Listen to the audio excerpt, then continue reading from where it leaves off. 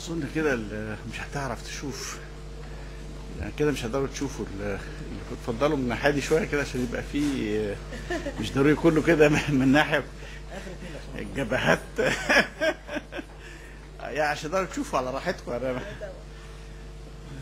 لأنه هعتمد almost completely على ال على السلايدز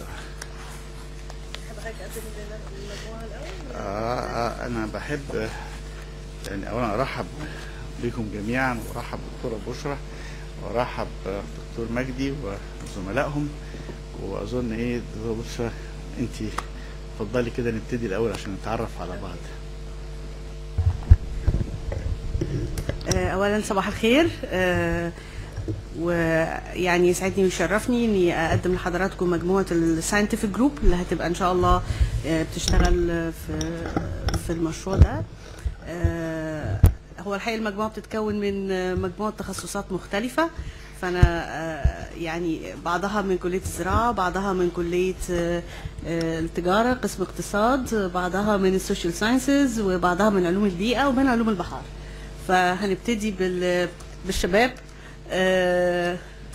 أحمد القط آه، علوم بحار آه، ماجد علوم بحار علوم بحار physical physical oceanography أحمد راشد آه، قسم علوم البيئة معيد آه، دكتور محمد رشاد آه، مدينة الأبحاث العلمية آه، كلية الزراعة دكتورة مروة وسيم قسم علوم البيئة في ال risk assessment آه، دكتورة سلوى انثروبولوجي كلية الآداب آه، دكتورة فيبي كلية الآداب سايكولوجي دكتورة مها آه، اقتصاد وبتشتغل في في ال carbon footprints اعتقد وشوية حاجات على climate change. I have all the CVs here ف آه، دكتورة هبة كلية الزراعة قسم محاصيل. أهلا وسهلا. دكتور مجدي ناجي طبعا أستاذ الأساتذة في علوم الكمبيوتر في كلية الهندسة جامعة اسكندرية وأيضا في آه، مكتبة اسكندرية. يا دكتور مجدي. عرف عن نفسك مجدي ناجي كلية هندسة ومشارك هنا مع المكتبة من أول ما اتنشأت آه، الجروب بتاعنا كل واحد فيهم طبعا هيعرف نفسه.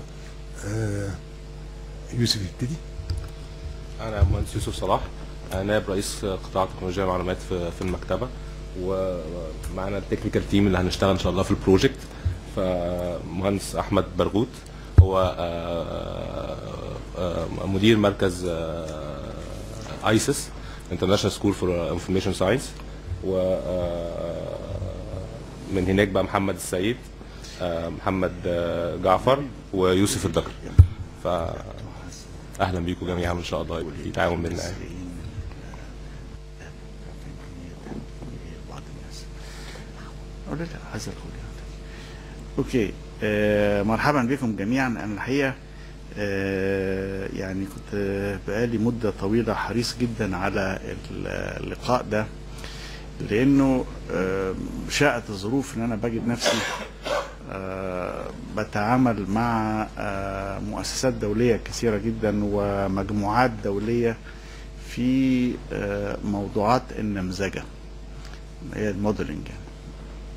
والمشكلة إن مش شايف آه، في مصر systematic efforts ل teams بتشتغل في ال interdisciplinary modeling وال interdisciplinary modeling ده اللي إحنا محتاجين له الحقيقة لمجابهة الكثير من القضايا ال environmental ولان طبيعه المشاكل وطبيعة الإمكانيات للتعامل معها بتحتاج ل variables كثيرة جدا من قطاعات كثيرة جدا وبالتالي لازم يبقى في teams بتشتغل. يعني آه، في ناس متخصصة تعمل دراسات أيوه. في ناس ممتازين بيعملوا حاجات كتيره وفي بعض الناس بيشتركوا في آه، دراسات مشتركة. إنما أنا كنت عايز أبني مجموعة هنا عندنا في اسكندرية للتعامل مع الحاجات دي وأنا هقدر هعرض لكم دلوقتي هتشوفوا في عدد كبير جدا من ال international models بعضها very complicated وبعضها limited في efforts كبيرة بتتعمل في ميادين كتيرة آه، وبرضه زي ما بقول شاءت الظروف إن أنا متداخل في عدد كبير منهم فتبقى فرصة إن إحنا نجيب بعض ال- الناس دي والشخصيات دي تجي لنا هنا. بس عشان ما تبقاش مجرد محاضرة وناس بتمشي لو في فريق بيشتغل على الموضوعات دي هنا هيبقى قدر التفاعل وقدر الاستفادة أعلى بكتير جدا.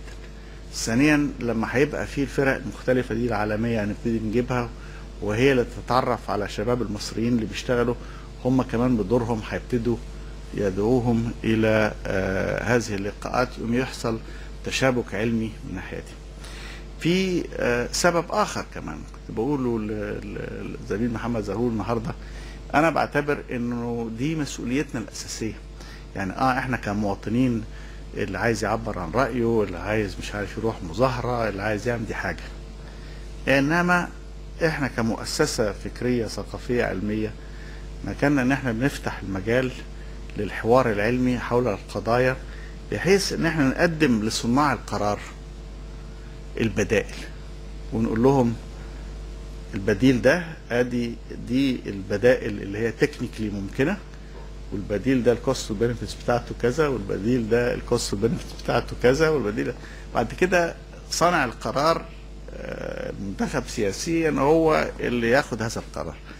آه، إنما إحنا شغلتنا إن إحنا ندرس الدراسة التكنيكية الأول وثانيا نعمل فعلا تقييم فعلي لل risks وال advantages ونعمل analysis لل costs وال benefits وبطريقة علمية ونقدر نقدم الحاجات دي.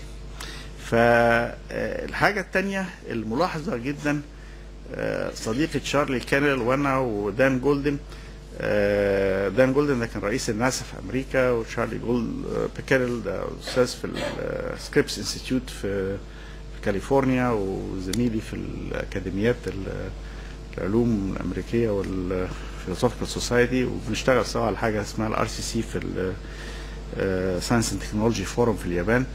آه، آه، الحقيقة ال slogan ده هو اللي حاطه أنا موافق معاه فيها. وهي إن المشكلة الحقيقية ينقصنا regional models على scale regional لأنه ما بين ال global models بتاعت البيئة وال climate change بصفة خاصة ال impacts بتاعتها في regions معينة في variability كتير جدا في ال models دي. وال pixelation بتاعتها كبير قوي. فالقدرة بتاعتنا إن إحنا ننقل التصور العام ده إلى واقع ناقصة. يعني الواحد لا يتخيل إنه ممكن يغطي العالم قول ب 80 منطقة. ده رقم أنا اخترته كده انما 80 منطقة يغطوا ال- ال planet ولو عملنا موديل لكل واحدة بس ال models دي تبقى كلها compatible with ال global model بتاع هيحصل إيه في ال climate change وقتها آه، كل منطقة من دول هنقدر ناخد الكلام ده وهنقدر ندرسه. هديكم مثال بالنسبة لنا إحنا في مصر آه، خطير جدا وسهل جدا يبين خطورة الحكاية دي. مياه النيل. طبعا يعني إحنا مهتمين جدا جدا جدا بمياه النيل في مصر. على حسب ال fine tuning بتاعت ال global models فين الخطوط اللي ح... من المنطقة الاستوائية هتزيد فيها ال- الأمطار وفين الخطوط اللي هتقل فيها الأمطار؟ ممكن إنه ال predictions بالنسبة لمياه النيل تزيد أو تقل بأكثر من 30% يعني minus 30% من ال flows الحالية ل plus 30% من ال flows الحالية. Depending on where you go لأن طبعا إحنا أنتوا عارفين النيل الأزرق بيجيب 80% من مية النيل. ف depending منطقة الجبال ال- المرتفعات بتاعت إثيوبيا آه، آه، في الموديل اللي بيطلع تطلع جوه ولا بره الخط تفرق كتير جدا. في حاجات زي كده. طب إحنا عايزين بقى نعمل fine tuning بقى. الناس اللي بتشتغل على مستوى الكوكب كله ال models بتاعتها ليها level of crudeness ما يسمحش بالتفصيل ده. عشان كده كنا مع تشارلي كينيل طلعنا آه، ال slogan ده. هو كتب حتى مقالة بهذا الاسم في Issues بتاعت ال Academies of Science من حوالي 3 4 سنين. آه، لو أنا كتبت عن ال abolishing hunger هو كتب عن دي. سماها قال إن إحنا we want to think globally yes but we need to model regionally. وبعدين in order to be act to be able to act locally. regional model هم بقى مثلا عاملين very interesting detailed regional models لكاليفورنيا. وبيشتغلوا مع مجموعات تانية علمية في كا- كامبريدج UK وأماكن أخرى على ال regional models ففي أمثلة لهذه التطبيقات وهنجي لها بعد شوية. فإذا دي الخلفية العامة يعني اجتمعنا ليه النهاردة؟ أنا عايز أمشيكم معايا شوية شوية خلفية عامة شوية هنخش بقى في آه، إيه اللي موجود دلوقتي ك models وبعدين عايزين ننتهي إن شاء الله إن إحنا نقرر إزاي هنكون نفسنا كفريق عمل فهبتدي part 1 الحقيقة is about on the resilience of the delta. عايز أتكلم على قضية ال resilience of the delta الأول نبتدي بمعلومات عامة عن مصر وال impacts of climate change وال resilience facts of Egypt طبعا أنتوا عارفين إن إحنا معتمدين تقريبا كليا على النيل ودي هنا دي الفيوم وده منطقة منخفض القطارة هنا. وإنما أنتوا شايفين طبعا إن الدلتا جزء كبير جدا من الزراعة بتاعتنا معتمدة على الدلتا ودي حاجة مهمة جدا. طبعا دراسات النيل بترجع من زمان قوي ده خريطة كلوديوس Ptolemy في مكتبة اسكندرية القديمة. كان تقريبا مظبوط كان ينقصه بحيرة فيكتوريا إنما دي بحيرة تانا فكان فيه اهتمام كبير بالحكاية دي من زمان قوي. ادي هنا المنطقة بتاعتنا دي بحيرة تانا وتلف كده النيل الأزرق وده العطبرة وهنا طبعا بنطلع جنوب السودان. المية اللي بتجي لنا من ال White Nile اللي هو جاي من السودان حوالي 20% ال Blue Nile والعطبرة تقريبا 80% من مياه النيل. is very seasonal عشان متأثرة قوي بالأمطار. ولذلك ال modeling بتاع الأمطار هيقع فين؟ يصبح انه له أهمية كبيرة. هل الأمطار هتزيد ولا تقل؟ هتفرق كتير قوي في الإجمالي المية اللي جاية لنا. آه، المرتفعات آه، موجودة بعيد النيل عامة انحداره ضئيل جدا وبالذات في مصر وبالتالي من من السد العالي لغاية البحر المتوسط يعني مسافة آه، قليلة جدا بتاع 200 متر ارتفاع مثلا بالكتير قوي. فما فيش اندفاع قوي وما فيش آه، مقارنة بأنهر أخرى كثيرة في العالم. آه، الدلتا طبعا من الحاجات الكويسة إن إحنا عندنا surveys له بصورة مستمرة. إنما الأزرق ده بيمثل مناطق already more or less تحت آه، سطح البحر ومتأثرة بال intrusion بتاع الملوحة. ودي دراسات كذلك بتقول إن دي low elevation areas اللي أنتم شايفينها هنا وهي أكبر من ال- اللي فاتت. وهنرجع لها تاني دلوقتي لما نتكلم على الدلتا. إنما آه، قضية المية بتاعتنا قد إيه مية؟ بلا شك ما نقدرش نستعيض عن مياه النيل ايا كان يعني. بالنسبة لمصر آه في مياه جوفية وشوية أمطار على الساحل وبتاع بس ما فيش حاجة تعوضنا عن النيل فإحنا معتمدين على النيل تقريبا كله. احتياجاتنا بال cubic meters already كان ال estimate من سنة 2000 إن إحنا عايزين 63 مليار. أنتوا عارفين إن حصتنا في الاتفاق 55 مليار في الاتفاق بتاع السودان. ف already إحنا كنا من سنة 2000 بنقول إن إحنا محتاجين أكتر من ال ال اللي- اللي جاي لنا يعني. أو اللي جاي لنا قانونا يعني. آه، آه، لازم نفهم ال- الدورة الهيدرولوجية أو ال hydrological flow through لأنه ال system بتاع ال hydrological cycle في جزء بيطلع evaporation وجزء بيطلع transpiration من النبات وفي جزء اللي هو surface water هو اللي بيجري وبيرجع تاني إلى البحار ويطلع منه ك evaporation تنزل كأمطار بعضها على الأرض وبعضها بره الأرض. في percolation بتخش بتعمل ال groundwater flow وفي آه، جزء بس الصغير قوي اللي إحنا بنتعامل معاه. لو عرفنا نطلع شوية من ال من ال percolation هناخد آه، شوية ground water زيادة. إذا ما قدرناش يبقى إحنا منحصرين في ال surface water اللي موجودة. آه، الناس اللي بتقول ما فيش ولا نقطة من النيل المفروض تخش البحر آه، دول مش فاهمين إنه النيل آه، لازم آه، يغسل الدلتا. يعني آه، بيوصل محمل ب 12 مليون طن من الأملاح وعلى القاهرة وبيوصل لغاية البحر المتوسط ب 34 مليون طن فبيبقى غسل الدلتا بحدود آه، 22 مليون طن. لو المية دي ما اندفعتش إلى البحر الأبيض المتوسط الأراضي الزراعية هتملح. فبالتالي يعني آه، ده جزء أساسي. وطبعا آه، مصر على فكرة من أول الناس اللي كتبوا الكلام ده في أبحاث علمية سنة 1907 اللي هو أهمية الصرف الري والصرف.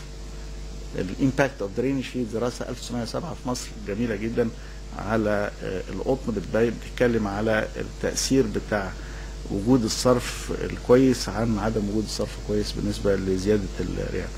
فده نقطة مهمة جدا. الزراعة عندنا بتاخد أكتر من 80% من المية. فاذا الزراعة هتبقى عنصر مهم جدا في التعامل مع المية. والزراعة بقى بيخش فيها فاريبلز كتيرة جدا جدا جدا لأنه لها دعوة ب- بتاخد قد إيه. يعني آه، إحنا نقدر نقول إنه ال ال المية بتروح لمحاصيل مختلفة فعلى حسب أنت بتزرع قد إيه من كل محصول. طبعا إحنا عندنا أكتر من من آه، محصول في cropping multiple cropping في السنة. آه، متأثرين بال- بالأسعار العالمية.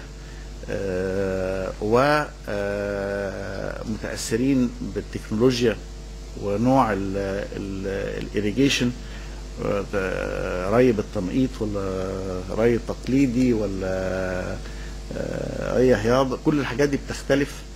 فكل سنة الاحتياجات الفعلية بتضطر تتحسب تاني.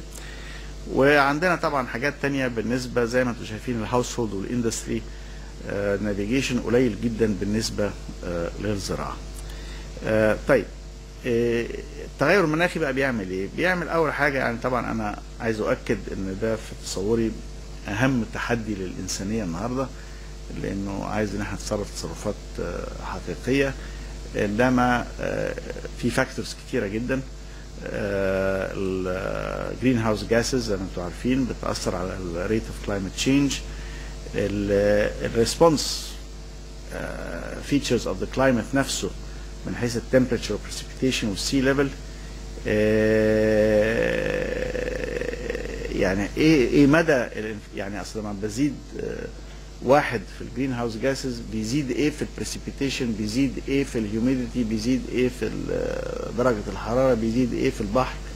ما هياش ماشية 1 to 1 مش linear relationship فبالتالي دي لوحدها ده طبعا جزء كبير جدا من ال climate models بتشتغل عالميا على الحاجات دي. آه، وفي natural influences on climate من ال volcanic activity لل changes في ال sun's intensity لتغيرات مختلفة زي ال circulation patterns في ال- في المحيطات والبحار. هي من تغيراتها هي بتغير كمان ال climate change من الحرارة والبرودة بنعمل إيه؟ بنعمل models عشان نحاول نفهم الكلام ده. آه، ال models فيها variability كبيرة جدا. أنا ضربت لكم مثل صغير في التل- 330% plus or minus إنما هنا بنبني ال models على أساس assumptions. فال top 3 assume no explicit climate policies.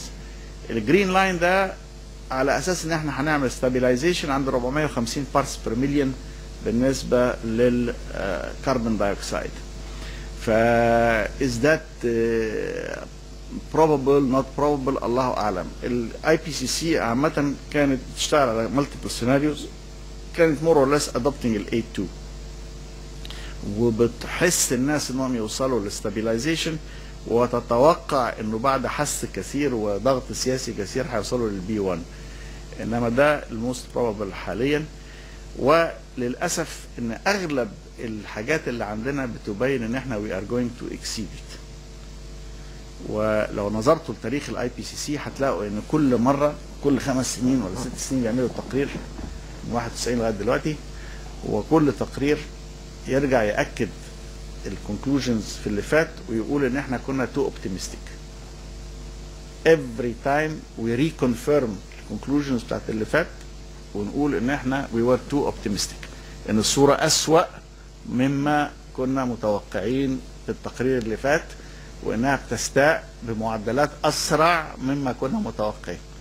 كل مرة كده. طب هنا ده إيه؟ ده الفعلي الحتة الصغيرة دي.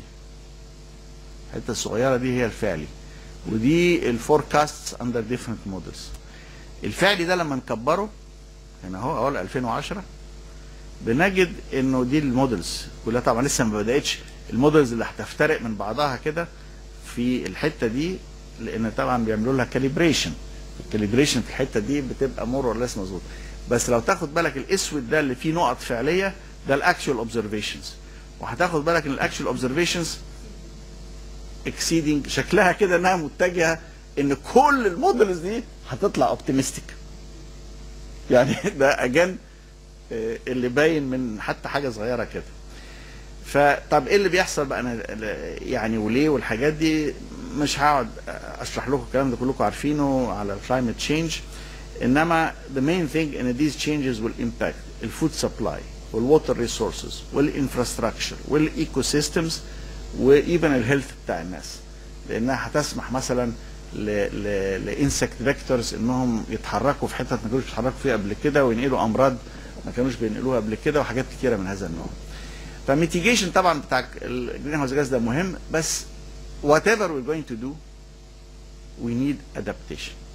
لأن climate change climate will change. هو بيتغير وهيغير زيادة فاذا قدرتنا على التعامل مع هذا التغير هو ده المطلوب. يعني المسألة مش هنقعد نناقش طيب لو عملوا كيوتو لا عملوا حاجة تانية بعد كيوتو أحسن من كيوتو عملوا مش عارف إيه لا أقل من هنقعد نتكلم في الكلام ده والناس بتغرق والناس بيحصل لها عواصف والناس بيحصل لها حاجات تانية. فلازم نتكلم عشان كده هنرجع نتكلم على ال resilience المقدرة إنها إن الواحد يستعيد المكان. فال IPCC review زي ما قلت لكم كل آه، فترة بتطلع major report بس every report tends to confirm و show we were too optimistic.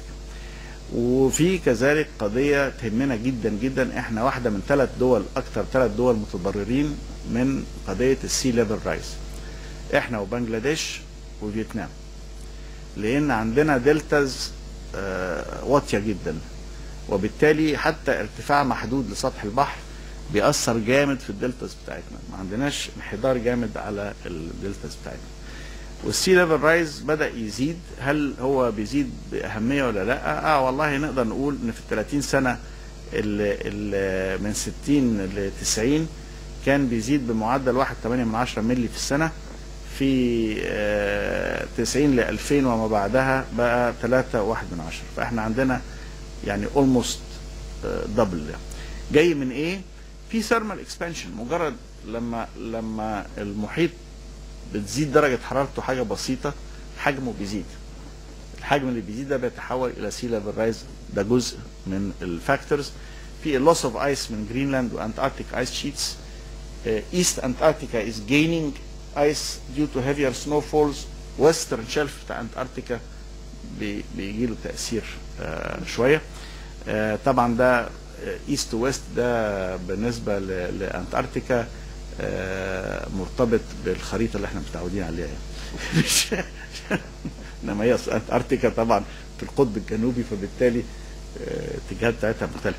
ال mountain glaciers ال ice caps في الهيمالاياز والألبس وبتاع وال groundwater extraction وال discharge ماشيين إحنا أسرع we are withdrawing water من ال ground ال aquifers اللي في الأرض أسرع من قدرتها to refill فبالتالي ال groundwater بتقل وبنحس مثلا بإن ال water tables بتقل في كل حتة بتنزل أعمق وأعمق. في سوريا مثلا في 30 سنة اللي فاتوا تقريبا متر في السنة.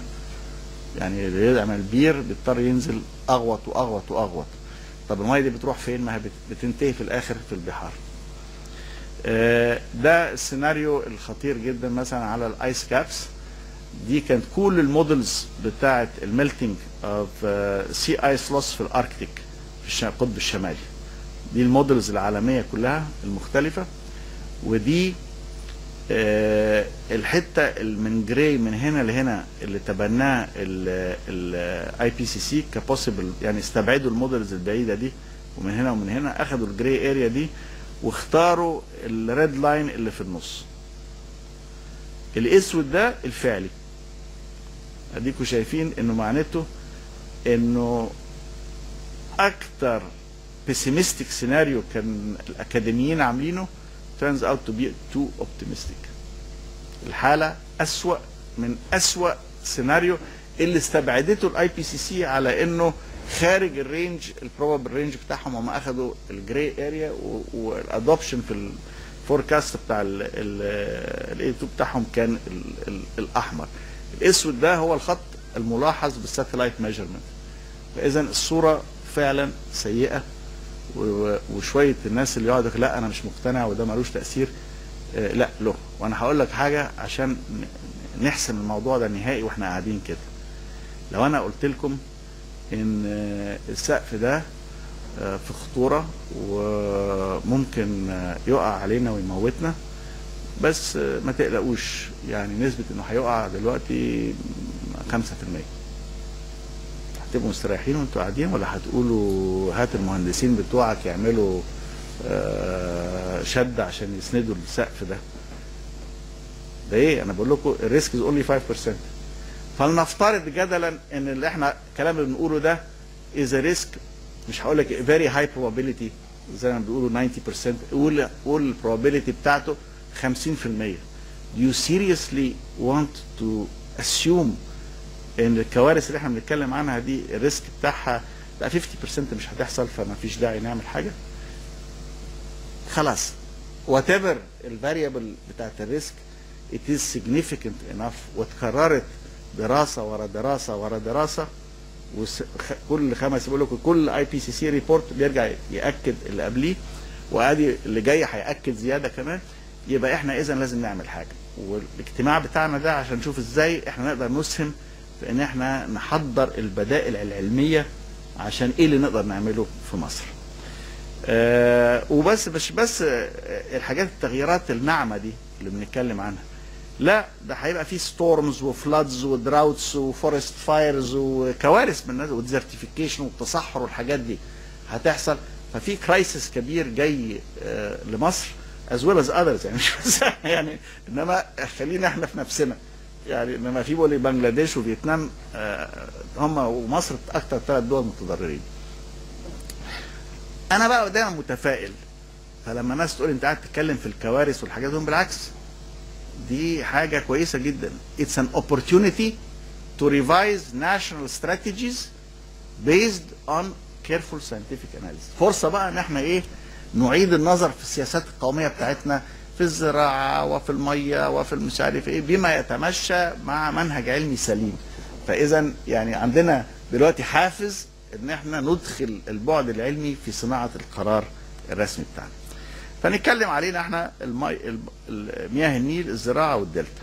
مياه النيل آه، 80% جاية من ال- النيل الأزرق والمشكلة إن إحنا على حسب زي شا- شايفين دي 500 كيلو. على حسب لو الموديل آه، آه، بيحط آه، ال- ال- الامطار اللي بتزيد تقف لغاية هنا مثلا لغاية ال ridge ده يبقى النيل هيقل 30% أو يمكن زيادة حتى. لو حطت ال ال ال الحتة فوقيه بحوالي آه، 600 كيلو بس من هنا من ال ridge ده لل ridge ده هنا دخل الأمطار الغزيرة على بحيره تانا والنيل الأزرق والعطبره وبالتالي مياه النيل تزيد 30% يعني depends ال fine tuning بتاع ال global models دي اللي بتقول هيبقى في حتت هتقل وحتت هتزيد طب الخط بتاعها فين؟ لما تبصي على حاجة زي كده تلاقيها كده. الحاجة الثانية إن ال dams اللي بنتكلم عنها dams hydrological لأنه الحتة دي صعب جدا. يعني أنا مشيت فيها كلها حتة صعب جدا إن وعرة جدا إن حد هيبقى فيها آه، يعملوا فيها توطين وزراعة وبتاع ومش عارف إيه. فإذا كان بيعملوا hydrological dams بس عشان hydro power هيبقى آه، أغلبه run of the river فمش هيأثر كتير علينا. آه، إثيوبيا في ال upper highlands دي عندها قحط مية ومحتاجة مية هنا. بس المشكلة إنها ما تقدرش تاخد المية دي وترفعها فوق ال ال الجبال دي يعني عشان ترفع مية من تطلعها من هنا. يعني حتى لو عملت دام أكبر دي مسألة صعبة جدا إنك أنت تطلع من هنا وتوديه فوق الجبل وتنزله تاني من الناحية التانية. وهم نفسهم مهتمين بدراسة نفس الدراسة اللي بقول اتكلم عنها عشان عايزين يعرفوا الهايلاندز دي. هيجي لها أمطار زيادة ولا أقل؟ وبرضه هم داخلين في ال- هو الخط فين بقى؟ الله أعلم. آه، فإحنا basically we need more scientific studies for the entire set of Nile water issues. إحنا بالنسبة لل agriculture ال major constraints في الزراعة غير ال climate والحبوب هي land and water فإحنا we need كده we have been always looking على الزراعة وكأن المية ملهاش حدود. ونتكلم دايما حتى في ال yield نتكلم per unit of land لك كذا طن في الهكتار كذا طن في الفدان. لا آه وكأن المية ملهاش حدود. لا إحنا عايزين بقى نقول طب كذا طن per cubic meter of water ويهمنا بقى إن إحنا نقول we want more crop per drop الدلتا بقى آه طول راعي كان عمل الدراسة دي وقال لو ال potential impact of sea level rise نص متر كل الحتت دي هتبقى اوطى من سطح البحر وإذا كان متر هيبقى كل الحتت دي اوطى من سطح البحر.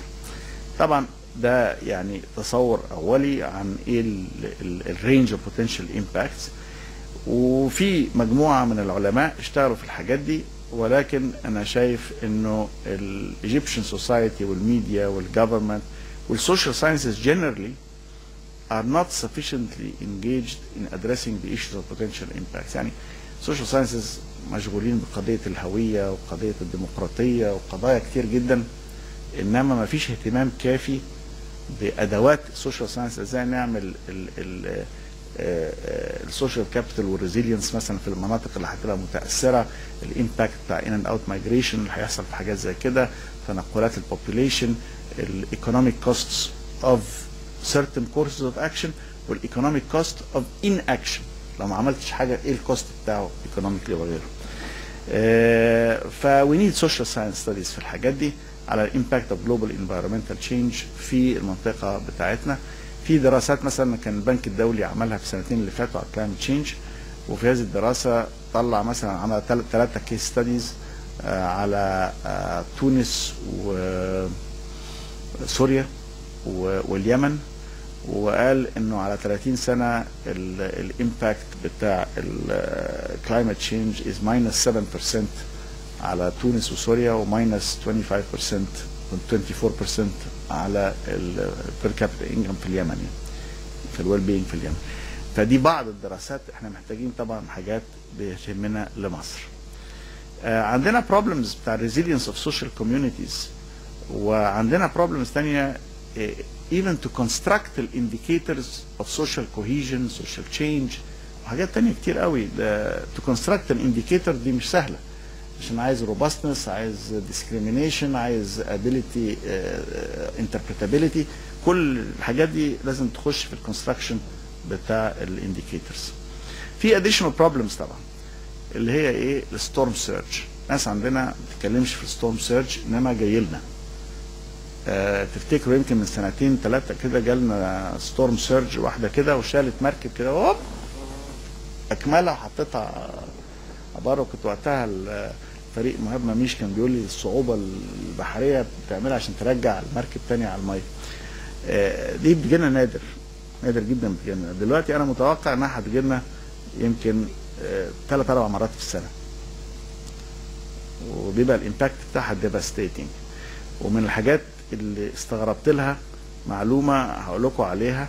ال storm surge طبعا is a huge wave that hits the shore during storms caused by extremely high winds as they push the, the ocean or sea water to the shore.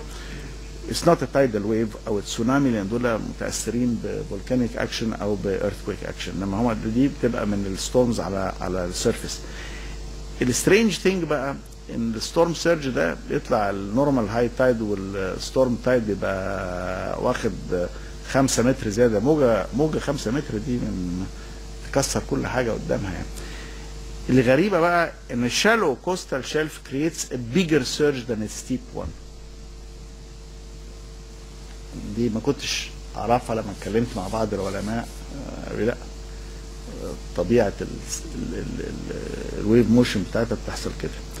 آه، شفنا طبعا الحكاية دي برضو مع ساندي لما ضربت منطقة آه، آه، نيوجيرسي وال size of the storm surge shallow coastal shelf يعمل زيادة.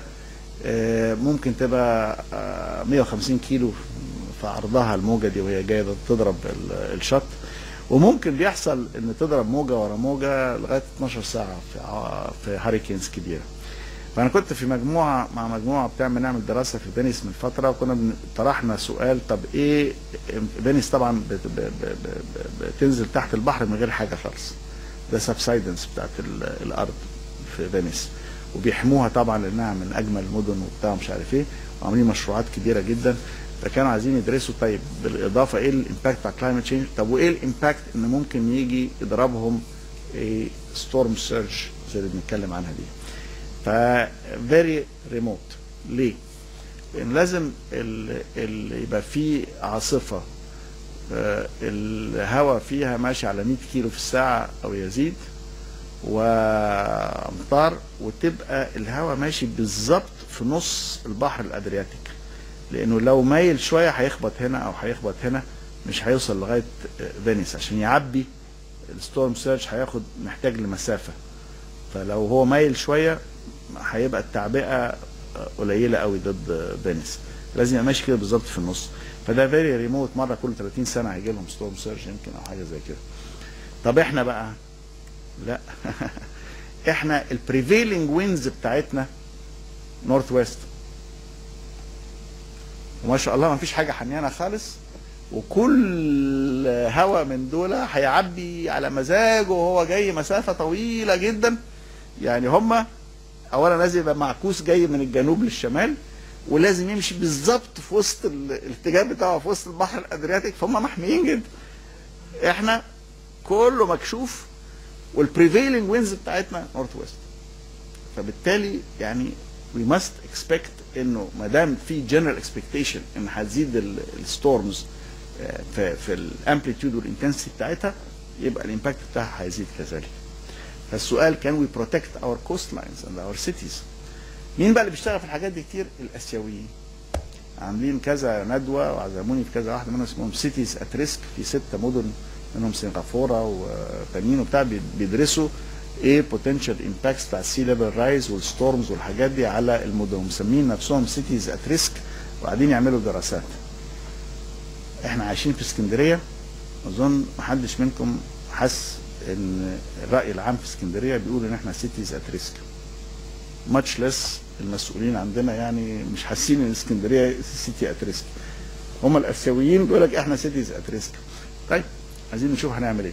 طبعا ال Netherlands عندها great projects that are worth knowing and studying. لأن ال Netherlands تلت البلد تحت البحر. ده منهم مثلا. ال Maeslant storm surge barrier في ال Rhine Meuse delta في ال Netherlands بيتقفل ويتفتح عشان يحمي ال- ال- ال- الخط ده بيروح داخل كده.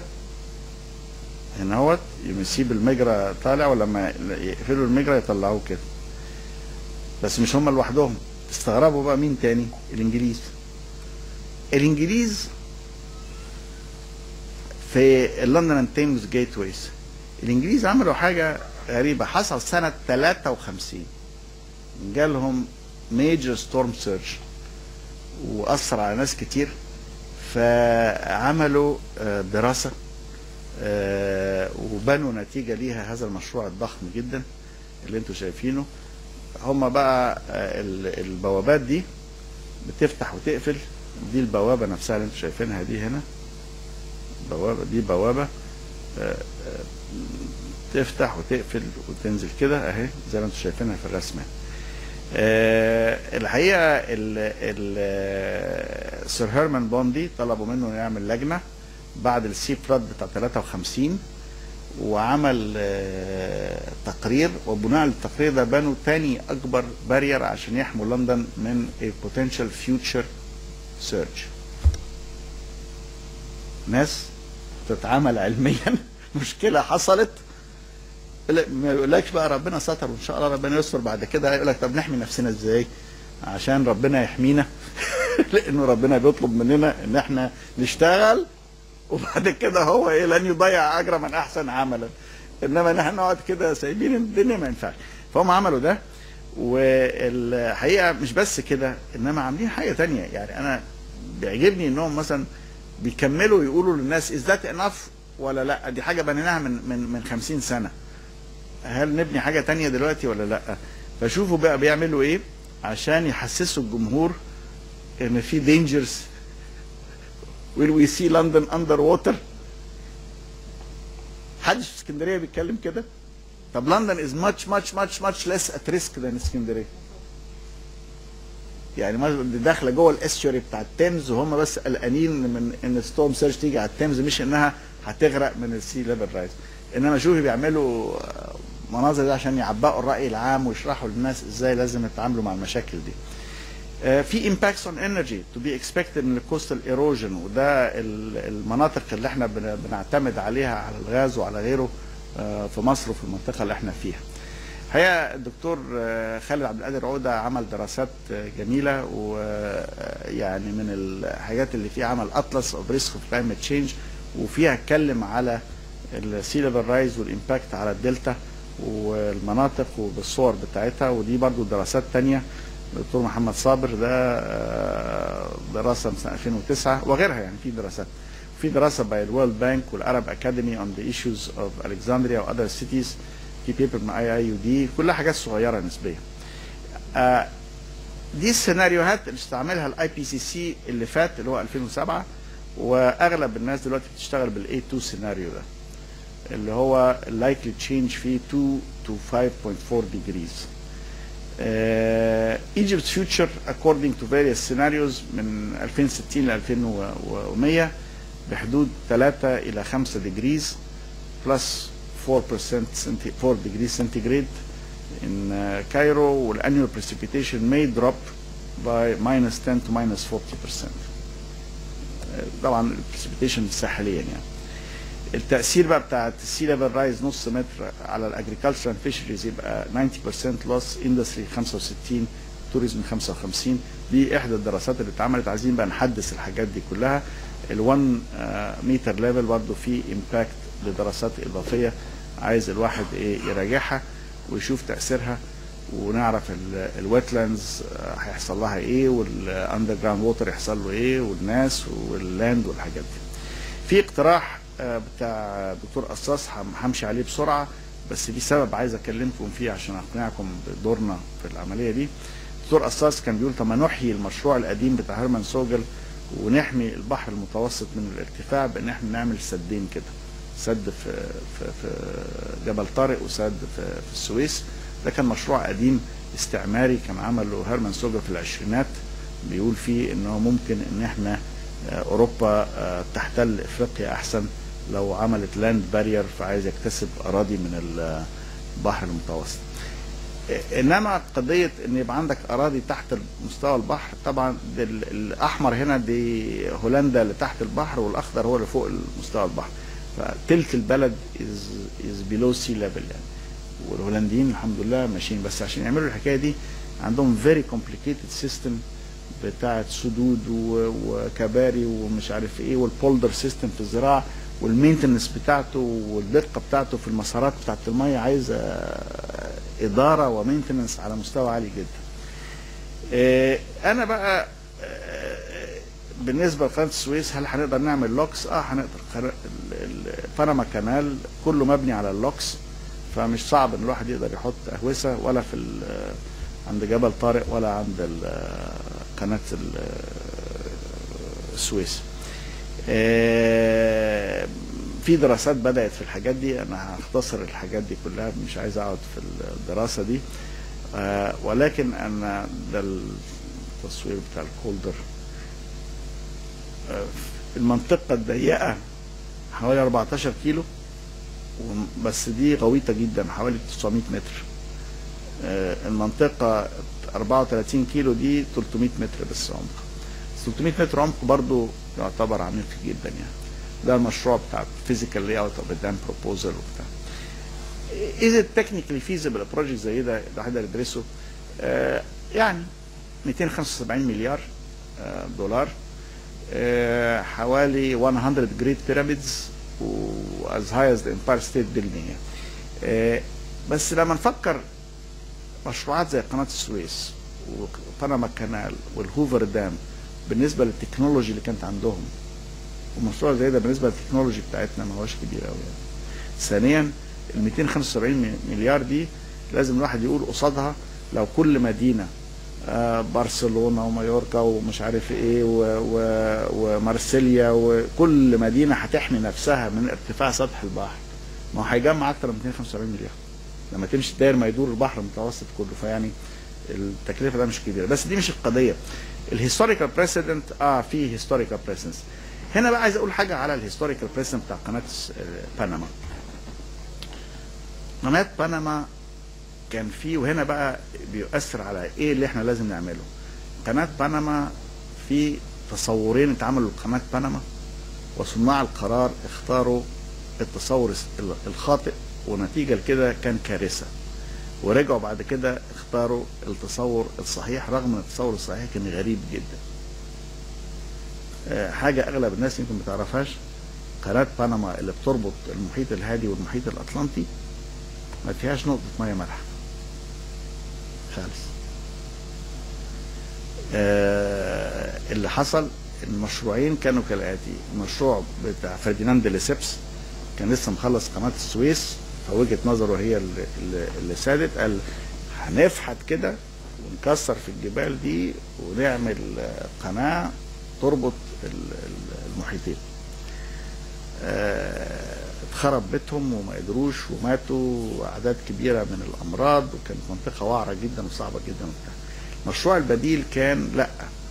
دي منطقة فيها very high rains وفي من أكتر حتت ممطرة في العالم. فإحنا هنعمل سد. آه، السد ده آه، هيمنع ال- ال- المية هيعمل بحيرة ضخمة جدا. البحيرة دي تفضل فوق الجبل كده. وبعدين نفتح لها مسار من ناحيتين البحيره تتدفق منها الميه نازله من ناحيتين ونحط الهوسه فالمركب بتطلع من المحيط تخش في ميه حلوة طالعه مفروض كده ونرفعها بالهوسه وتمشي في البحيره وتنزل في الهوسه في الميه الحلوه اللي نازله من الناحيه الثانية والبحيره بتتجدد بال بال آه، آه، امطار والسد اللي اتبنى فوق طبعا يعني ما هياش الصورة الأولى لما حد يقول عايز أبني قناة تربط محيطين تقول طب ابني سد في الجبل. ده شغل العلماء. إنهم يقيموا التكنيكال اوبشنز ويعملوا الكوست والبنفيتس بتاعت التكنيكال اوبشنز وساعات التكنيكال اوبشنز are not obvious. يعني this was not an obvious solution إنما طبعا أصبحت قناة بنما من أهم ال- القنوات في العالم. بس زي ما قلت لكم ديليسبس آه، يعني أملى رأيه وال bold idea بتاعت ال fresh water canal آه، كانت ال better solution اللي هو ال Gatun Dam ده اللي اتبنى والحاجات دي. ال digging Panama Canal حتى بال Gatun Dam كان آه، يعادل 63 هرم من أهرامات مصر. هرم مصر ده حاجة عظيمة جدا جدا جدا جدا. عشان كده أنا بقول للشباب دايما آه، كلمات الرافعي أنا مصري بناني من بنى هرم الدهر الذي أعيا الفنا وقفة الأهرام فيما بيننا لصروف الدهر وقفتي أنا.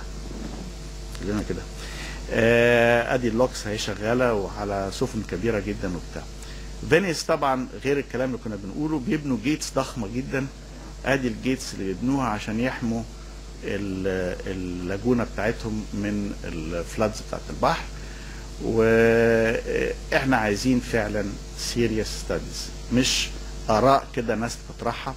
وده يستحق study to other alternatives ولازم نشتغل على ال mitigation وال adaptation بس عايزين إيه؟ منهج علمي. طب مصر بتعمل إيه؟ آه عملنا لجنة سنة 2007 ولكن في الاجتماع اللي فات آه، ممثل وزارة البيئة قال إنما هي الحقيقة مش مفعلة. لأن كان في عدد كبير من اللي حاضرين الدكتور صلاح كانوا قايلين ما إحنا أعضاء في اللجنة دي. اتكلمنا في آه، عندنا لجنة قومية لمجابهة ال climate change طيب ما هو 2007 دلوقتي بقينا 2013 آه، فيعني لا عايزين نفعلها. المسألة مش مسألة talk عايزين نفعلها. The water needs of Egypt are growing faster than population rate.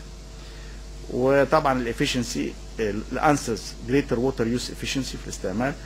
Food security and virtual water. لازم نرجع تاني نشوف هنستورد إيه ونزرع إيه بالنسبة للمية بتاعتنا. 80% من المية بتروح في الزراعة. فإذا ال crop patterns بتاعتنا هيبقى لها تأثير كبير جدا. حماية الدلتا مهمة جدا. ال pollution وال recycling of water مهم. ندور على new sources زي desalination في حتت معينة ونشوف new sources such as underground water underground water آه في هنا آه، ده منخفض القطارة أهو. الدكتور آه، الحقيقة آه، خالد عوده له اهتمام كبير جدا بمشروع منخفض القطاره إنما الدكتور فاروق الباز له رأي في هذا. لما تبصوا على الصورة دي الخريطة دي ادي الفيوم وادي منخفض القطاره وادي الدلتا بتاعتنا. الملفت إن شكلها إن في دلتا تاني هنا. وهو فاروق رأيه إن ده كان دلتا قديم. وإنه لو تبصوا على الصورة دي قال إنه مش بس كده المسارات دي كان اتنقلت الحاجات نتيجة للهواء إنما اللي رجعها من الناحية الثانية كانت مية. فإذا مياه جوفية وبتطلع من الناحية دي وبتنزل تاني وبالتالي بيستنبط منه إن في مياه جوفية في الحتة دي. وإنها تبقى صالحة للزراعة ونقدر ندق فيها آبار ونعملها ونشوف فيه. والدكتور خالد بيتكلم على القطاره depression project وده منطقه منخفض القطارة اللي هو دي. منخفض ضخم جدا وقريب مش قريب قوي من اسكندرية إنما قريب من اسكندرية ادي اسكندرية وأدي المنخفض. وأدي المسارات اللي ممكن تتعمل عشان المية بتاعت البحر تنزل تفضى في المنخفض ونتيجة ده تعمل كهرباء وتعمل حاجات تانية وهتعمل اكستروجن لمية تانية. المهم في آه، يعني دراسات كتيرة عايزة تندرس في المشروع ده كمان. إنما بالنسبة لي في النهاية كل الحاجات دي آه، بالنسبة لمصر الزراعة اللي بتاخد 80% ومحتاجة 80% من من المية هي ما زالت آه، الجزء الأساسي لأن إحنا أكثر دولة مستوردة للقمح في العالم. فبالتالي ما بين يعني مشكلة الزراعة بتاعتنا ومشكلة آه، الأسعار العالمية بتاعت ال- الحاجات دي والمية بتاعتنا والأرض القليلة في معضلة عايزة تتحل. وبعدين لو نبص على السكان ده من سنتين الرقم ده آه، 52% من الناس معتمدة على الزراعة وزراعة و agriculture related إنما 32% pure agriculture يعني إنتاج زراعي الأسر بقى تروحي بقى في الريف أدي الأسر المصرية في كل حاجة. فسواء agriculture لأن في دراسات كتيرة جدا اتعملت الحقيقة أنا و يعني نحيي العلماء اللي عملوا كل الدراسات دي سواء في وزارة الزراعة أو في وزارة المية أو في دراسات مراكز كتيرة بحثية في ناس كتير اشتغلت. المشكلة بتاعت ال agriculture land عارفينها؟ إن بيضيع مننا بال التوسع العمراني في الدلتا بيضيع من أحسن أرض وبنحاول إن إحنا نستصلح من أسوأ أرض اللي هي الأرض اللي الصحراء فإحنا ال- المعدل عندنا 8.6 من عشرة مليون فدان under reclamation 400 ألف حاليا fully planted 8.2 من عشرة آه، مليون آه، فدان. فدول بنحاول إن إحنا نزودهم. بس بنخسر. يعني آدي صورة آه، سنة 84 اهي وآدي الصورة 2007 نفس ال- المنطقة. شوفوا ال- العمران عمل فيها إيه. آه، طيب في حاجة تانية. better intensification. حاطين target في الخطة 200% حاليا ال intensification بتاعتنا 177 وصلنا 177 which is not bad. آه، إنما يعني still في some room أما قضية ال water بقى هي طبعا درست للنيل بالذات وهنا بيبان قوي صورة الدلتا جنب ال ال- اللي كنا بنتكلم عنها منخفض القطارة والدلتا اللي بيتكلم عنها فاروق الباز. آه، النيل بنضخ مية برضو مش بس آه، بتاع وبنستعمل ال- ال- الطرمبات في الحكاية دي.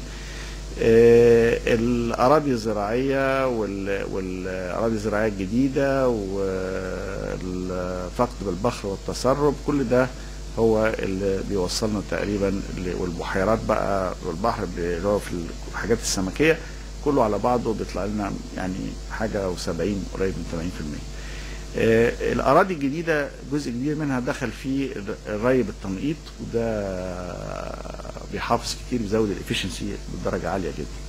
ال food security بتاعتنا إحنا تقريبا دايما لما نتكلم food security هي نتكلم على القمح. دون أي بعد آخر ودي طبعا مش آه، سليمة. food security عايز بحث زراعي من نوع معين أنا همشي عليه بسرعة إنما أساسا إما إن في ceiling ده أقصى حاجة قدرنا نوصل لها في الزراعة في المعامل بتاعتنا وفي ال experimental stations وفي ال- الواقع الفعلي. فحاجة بنقول طيب عايزين نعمل نهجن أنواع جديدة ومش عارف إيه نرفع مستوى ده. في حاجة تانية نقول لأ. إذا كان هنا وصلنا مثلا ل 10 طن وهنا 6 طن لا لو عرفنا نوصل لده 8 طن يبقى على نفس الأرض هنقدر نجيب كفاءة أكبر.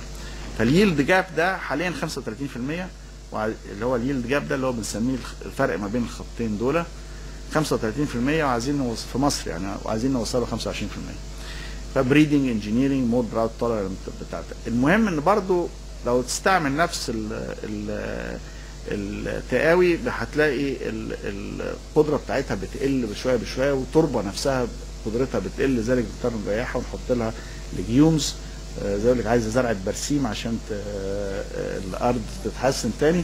فمش عايزين إنه ينزل يعني إحنا عايزين نرفعه ال yield ده gap. وفي post harvest losses اللي هو بعد ما بيقطع بيضيع مننا قبل ما يوصل للمستهلك. فده 20% في مصر عايزين ننزله ل 10% وبعدين توزيع المحاصيل الرئيسية المحاصيل الحقلية ما زالت 60% أنا عندي شخصيا تحفظ في هذا بس ده مناقشة ثانية لأنه آه، صحيح Egypt is huge wheat importer الرقم ده جبته من ال USDA لسنة 2012 آه، 9.5 مليون طن آه، أعلى واحد بمراحل يعني. تلينا الجزائر بخمسة في العالم العربي طبعا العالم العربي كله deficit area يعني إنما إنما عامة يعني إحنا أعلى بكتير جدا تقريبا ضعف الجزائر وضعف المغرب. فال price of wheat نفسه بيزيد وال ratio of imports to exports بيزيد. دكتور صلاح آه، سليمان قاعد معانا هنا هو اللي جاب لي الأرقام دي وبين إن سعر الطن مثلا في القمح بالدولار آه، زاد تقريبا 40% 36 38% وده غير الدولار للجنيه. فلما هزود ال two effects هتلاقي إن أنا عشان أستورد القمح بتاعي ال- ال- العملية زادت جدا. طب ده جايز معناته إن أنا لازم أزود الكفاءة بتاعتي في الزراعة في القمح ولا أعمل إيه؟ لا ممكن أزرع حاجات تانية وأصدرها و... و... و... لأن نسبة الصادرات بتاعتي للواردات ما هياش كافية. دي الصادرات والواردات هنا. فالدكتور صلاح برضو أخذ مجموعة من الناس وراحوا ولاحظوا إنه نتيجة لل salt water intrusion بدأنا نزرع في الحتت دي كلها اللي قريبة من البحر بنزرع آه، رز عشان المية الحلوة اللي بتبرد بتعمل ضغط ضد المية المالحه إنها تخش. إنما طبعا آه، ضاعت ال fruits وال vegetables واللي هي الحاجات اللي بتجيب كذا في الفدان بدلا من آه، مجرد رز رغم إن يعني كفاءتنا في إنتاج الرز عالية جدا في العالم يعني إنما مش ده المعيار يعني. آه، وفي شوية fisheries زي دول دكتور آه، صلاح صورهم بس ال fisheries دي يعني آه، تعتبر artisanal خالص يعني. إحنا عايزين نفكر جديا بقى في مستوى التعامل مع الثروة السمكية بتاعتنا. وال coral reefs بتاعتنا في البحر الأحمر بتتأثر طبعا بال bleaching وبحاجات تانية كتير. فهل هيبقى في زراعة جديدة ب new more high value products ممكن الواحد يفكر فيها بس مش ده اللي إحنا هنتكلم فيه دلوقتي. طيب نلف نلف وهتلاقي إن إحنا الدلتا أهم حاجة عندنا. طيب هنعمل إزاي دراسة ال resilience هل الدلتا يقدر يتفاعل مع التحديات الجديده والمشكلات اللي جاية له. آه ممكن. إزاي؟ طيب نبص على ال resilience بتاعت الدلتا. في دراسة جميلة عملوها جماعة هولنديين أو مركز دراسات في هولندا عن 10 deltas في العالم. ده التقرير بتاعهم ال comparative assessment of vulnerability and resilience of 10 deltas في العالم. والموديل بتاعهم هبتدي conceptually وهتشوفوا هنمشي عليه concept عشان نشوف هنعمل إيه. التصور إنه في ثلاثة layers في base layer ال base layer ده عبارة عن آه،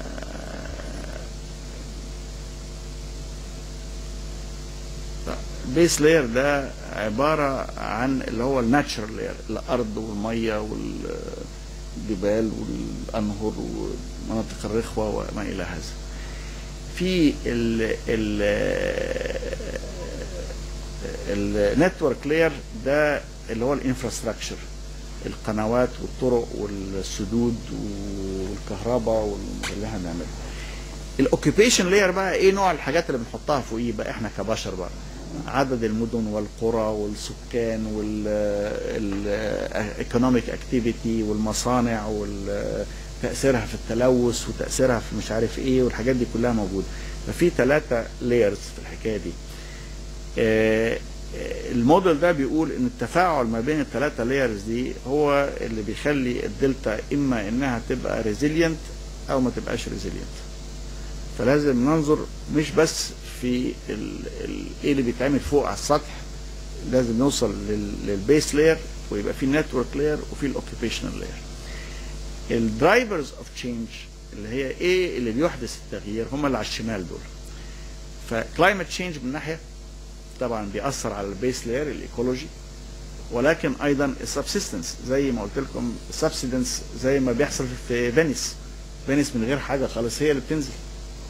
يعني ولا climate change ولا غيره من غير ارتفاع سطح البحر هي بتنزل لوحدها كده. فبتغرق يعني. ففي الحاجتين دول ممكن يأثروا على الدلتا ايا كان.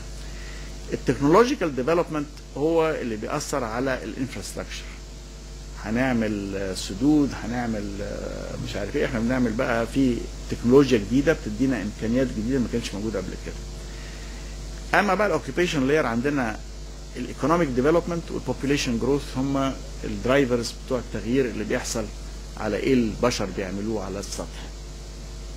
فدولت ال drivers المختلفه طيب من الناحية الثانية إيه في trends في المجتمع. الواحد بيتعامل بيتفاعل مع مجتمع. فالمجتمع risk averse participation مطلوب participation.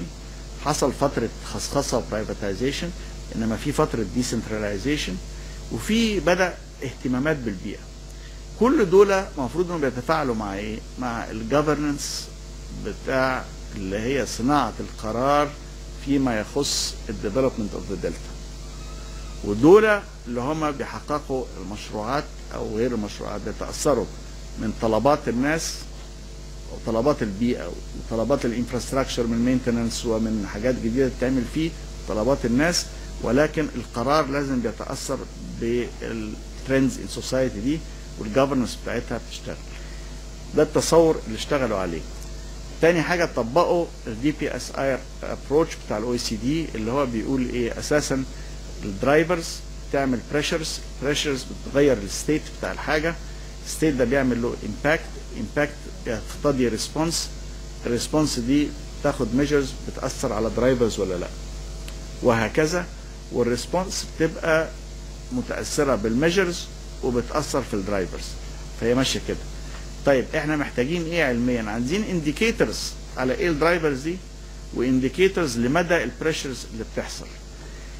أما لما بنعمل حاجة في we have a state it الوضع تغير عايزين indicators valuation على ال impact بتاعه. بحيث إن أنا أقدر أعمل policy formulation وآخد response وأنفذه. لما بعمل response I need measures. Measures إجراءات و measures قياس. عشان أعرف هل الإجراءات بتاعتي كافية ولا مش كافية. ال dose اللي أنا بديه مناسب ولا لأ. زي دكتور بيوصف آه، دواء المريض لازم يتابع حالة المريض ويشوف الدواء ده جايب المفعول المتوقع منه ولا لأ ولا هيزود ال dose ولا يقللها فيعني اذا يعني الحكاية دي عايزة monitoring وال monitoring ده محتاج لل statistical measures و. quantitative technique ما ينفعش كده نتكلم بصورة عامة. لازم نعرف آه، زي حكاية المريض. عايز أعرف إيه مدى تأثير الدواء ده على حالة المريض. علميا يعني. فأدي ال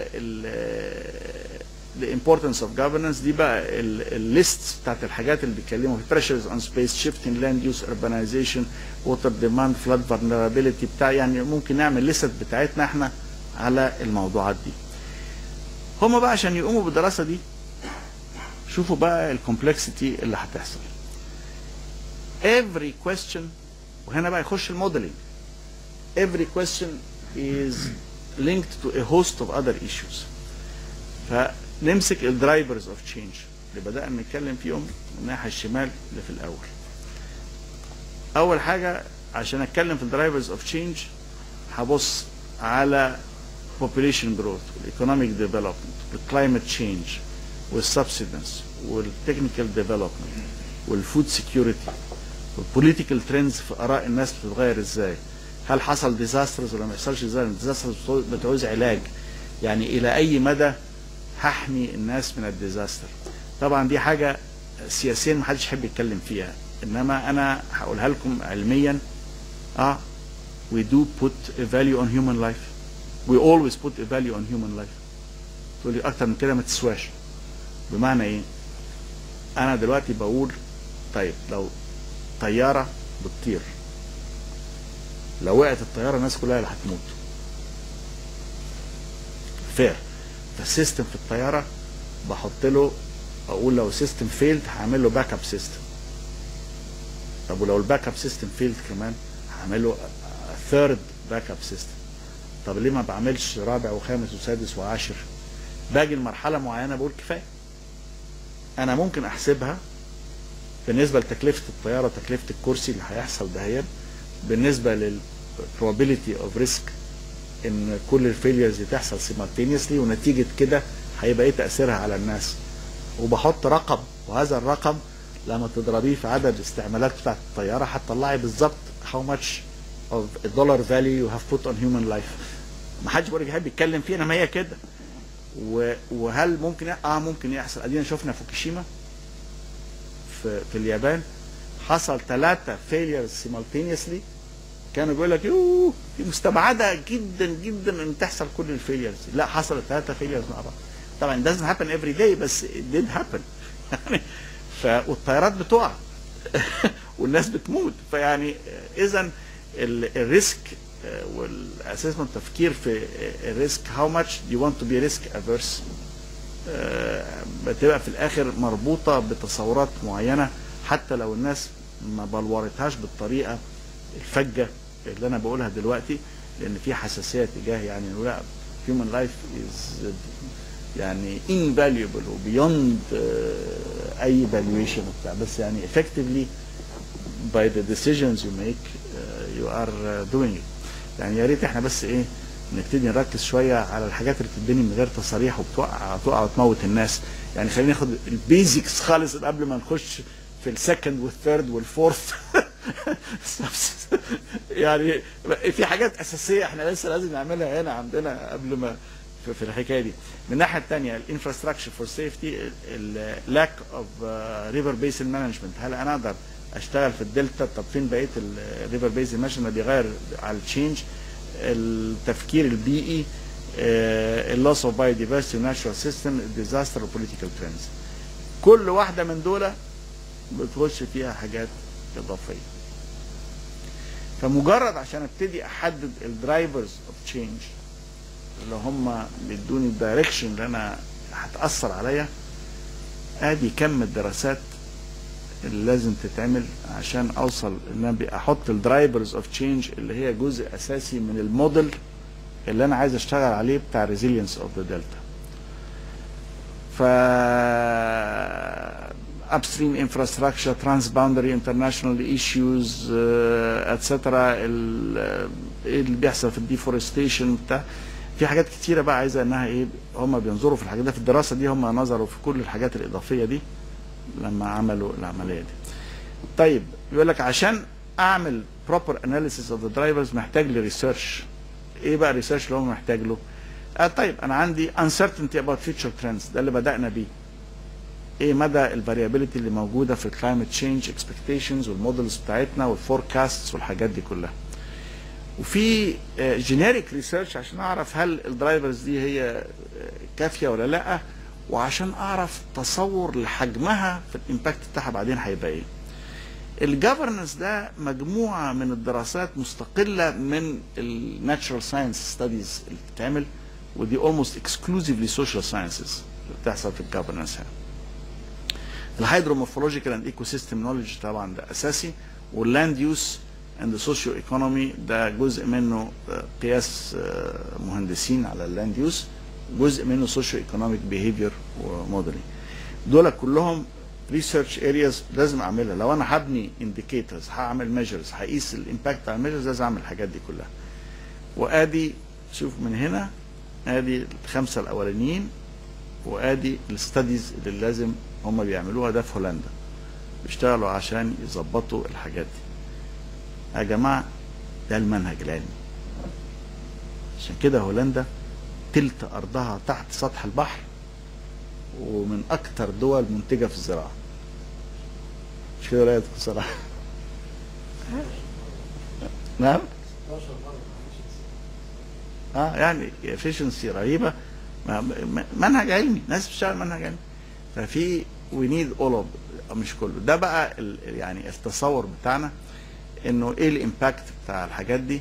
ال base layer ال networks اللي هي ال infrastructure وال occupation layer وإنه ال public domain طبعا بيبقى آه، الأرض والحاجات دي وال infrastructure وبعدين ال private domain بيبقى فوق عند المساكن الخاصة والمصانع وبتاع.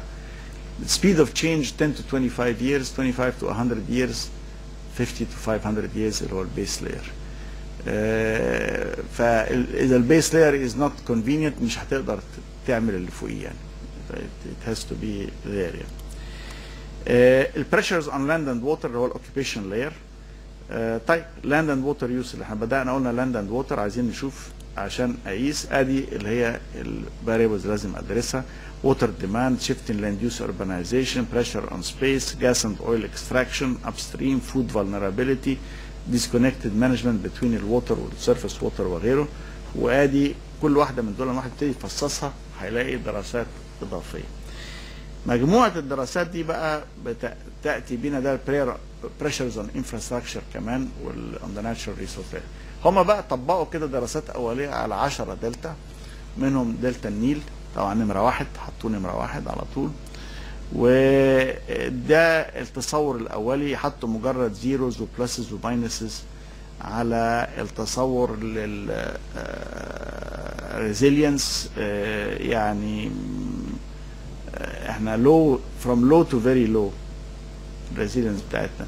والدلتاهات كلها على فكرة حالتها تعبانة ما فيش غير آه، إحنا و- واظن في راين ميوز دلتا طبعا والدانيوب هم شوية دول أوروبيين يعني فبي بيشتغلوا لا بأس به بس آه، الأسيويين برضو شوف يغيظ الواحد. الميكونج دلتا ما هو الأسيويين لسه بقول لكم بيعملوا cities at risk والميكونج دلتا أنا قلت لكم واحدة من أكتر ثلاثة vulnerable لا عندهم moderate scenario they are reasonably well equipped to handle it. اشتغلوا عليه. فالاكشن بتاعنا هنعمل إيه؟ آه، والله إحنا لازم نعمل prioritize actions و monitoring و implementation و revise our plans continuously. ليه؟ عشان ما دام ال data طلعت كده ما ينفعش إن أنا أقعد أقول الموديل بتاعي بيقول كذا. ده كان بيقول كده إنما دلوقتي خلاص بقى عندنا real data ما ما مش هقعد بقى الموديل دي كلها ارمي وظبط models جديدة واشتغل. ولو عملنا ال modelling صح و recalibrate the models بقى على ال actuals ونظبط نفسنا ونطلع new forecasts that are more akin to reality يعني. فلذلك you need to constantly update that ف you that requires إن أنت بتعملي assess and reassess risks and opportunities. Prioritize ال options ده اللي إحنا نعمله لصناع القرار. اتعملت صناع القرار أخذوا القرار و implement ال responses نشوف بقى في ال sectors وال regions نشوف ال outcomes outcomes تتقاس نرجع تاني reassess have to do all of that. إحنا شغلتنا القياس والتحليل والضبط والتربيط بتاع الحاجات دي. ولما العملية دي تتحط كده كلها لازم تبقى في political leadership و public awareness هي اللي بتحركه وإلا إحنا هنقف عند ال assessments بتاعتنا ومش هيتنفذ حاجة بعد كده. ف to identify the right path and the right set of measures لازم نعمل scenarios that link the global and the local and cross sectoral issues وده هيحتاج ل applied systems analysis. فالسؤال بقى I propose one group of us organize ourselves على قضية the resilience of the deltas and to study and model ال resilience of the delta بتاعت مصر بما يمثل التصور اللي أنا رسمته ده. طبعا في effects تانية هجيلها notably likely effects on food security. وده is a major issue. That is the second presentation اللي عايز أعملها لكم النهارده. فده presentation الأولانية كده. يبقى إيه؟ آه، آه، اديكوا شفتوا الرينج بتاع الحاجات اللي لازم تتعمل عشان نقدر نعمل resilience يعني proper studies of the resilience of the delta. بتاعت مصر studies تتمشى مع اللي بيعملوه الناس في الدول الأخرى. فاللي عنده أسئلة بقى ولا عنده حاجة يقولوا دي إيه السكوت التام ده؟ اتفضل. آه، أنا بشكر سيادتك على ال presentation very impressive طبعا حضرتك ما سبتش حاجة لينا خالص يعني ما شاء الله. آه، غطيت كل النقط. أنا يعني هتكلم عن حاجة بالتحديد آه، في حكم التخصص في الزراعة هتكلم عن ال negative impact لاسوان high dam على الدلتا. وإيه الفكرة اللي عندي اللي ممكن إحنا آه، نساعد بيها في تدارك ال negative impact ده؟ آه، طبعا أستاذنا دكتور صلاح سليمان موجود يقدر برضو ي contribute معايا. آه، دلوقتي ال- آه، كان في احتياج شديد لل high dam وكان علشان الكهرباء و إلى آخره. في الفترة دي ما كانش في الدراسات بتاعة ال environmental impact assessment و إلى آخره. فإحنا بنعاني دلوقتي من التأثير السلبي للسد العالي. وهو قبل السد العالي ما كانش فيه استعمال للأسمدة الكيماوية والمبيدات و و عشان طمي النيل اللي كان بيجي بالخير كله والمخصبات ومن أسوان لحد الدلتا. فدلوقتي بعض العلماء في مركز بحوث المياه بيقول إن في ضغط هائل على جسم السد العالي بسبب الطمي المتراكم آه، خلف السد وممكن يسد ال tunnels وبيبقى في تنظيف لل tunnels من آن لآخر. فدلوقتي إحنا ليه ال deterioration اللي حاصل في الدلتا ده دلوقتي واستخدام الأسمدة والمبيدات في لمدة أكتر دلوقتي من 40 سنة. آه، ما يبقاش في طريقة إن إحنا آه، نساعد في rehabilitation تاني الاراضي الدلتا ديت آه، باستخدام ال mud اللي موجود خلف السد العالي تاني. آه، ودي هتبقى طريقة إن إحنا بنحمي برضو حاجة risk ممكن يحصل. لو حصل انهيار لجسم السد ده بحيرة ناصر كلها هتغرق الناحية التانية. ويبقى البحر يغرق الناحية الشمالية يبقى كده إيه؟ الدنيا. فلو هيبقى في فكرة لوجود مثلا شركة أو اتنين عند السد العالي لاستخراج ال mud ده ويتعمل له crushing زي شركات الأسمنت كده ويتحط في شكاير وتتوزع بعد كده في المراكب اللي بتمشي في النيل من أسوان لحد كفر الدوار ويتحط ال mud ده تاني في الأراضي بتاعتنا مع مية الري. أنا أعتقد في ال- في الفكرة دي هتزود لنا يعني هيبقى فيها ميزتين. الميزة إن إحنا بن آه، نعيد للأراضي العناصر الغذائية اللي كانت بتيجي مع ال mud دوت. الحاجة التانية ال clay ده هيزود لي ال water holding capacity بتاعت ال soil. ف آه، وطبعا آه، مع استعمال التكنولوجيا بتاعت الري بالتنقيط بلاش الري السطحي بالغمر اللي هو برضه هيسبب لي غسيل لل clay ده تاني. ويعمل لي hard pan في التربة. ف آه، فكرة غسيل الأملاح آه، حاليا مفيش غسيل للأملاح لأن مفيش مية بتيجي من النيل تغسل الدلتا. المية موجودة في الترع والقنوات فقط ولكن الأملاح ما زالت برضو متراكمة وبدأت تتراكم في بعض أماكن آه، حتى أعلى من مستوى سطح البحر مش شرط مستوى سطح البحر بسبب الأسمدة المبالغ فيها المبالغ في استعمالها. ففكرتي إن إحنا نساعد في ده نوع من أنواع ال desertification بالمناسبة اللي هو ال deterioration اللي حاصل ده نوع من أنواع ال desertification فانا بقالي فترة وعرضت الفكرة دي في كذا برضو آه، اجتماع. ويعني بس ما كانش في أي comment من أي حد. فأنا أنا اديك comment فوري. آه. do feasibility study آه. feasibility study عايزه cost benefit analysis.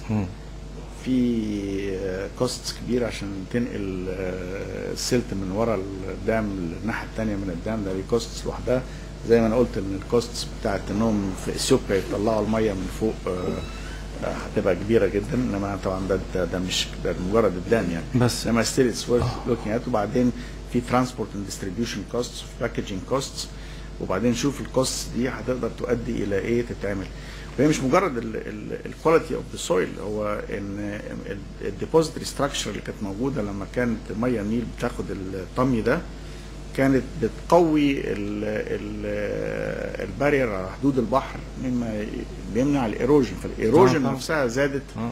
عشان ال replenishment ما كانش بيحصل نعم. automatically you may وانت مش بس إنك أنت توزعه على الأراضي اللي أنت عايز انك انت تلاقي طريقة إنك توصله تاني إلى إنه يغمر ال edge بتاع بتاع الدلتا if possible بس بقى دي عايزة دراسة وال cost benefit studies بتاعتها. ما هو كل حاجة بال cost benefit studies بتاعتها هي لازم تعمل يعني. فأنا أقترح إن يعني ما دام انت interested في الحكاية دي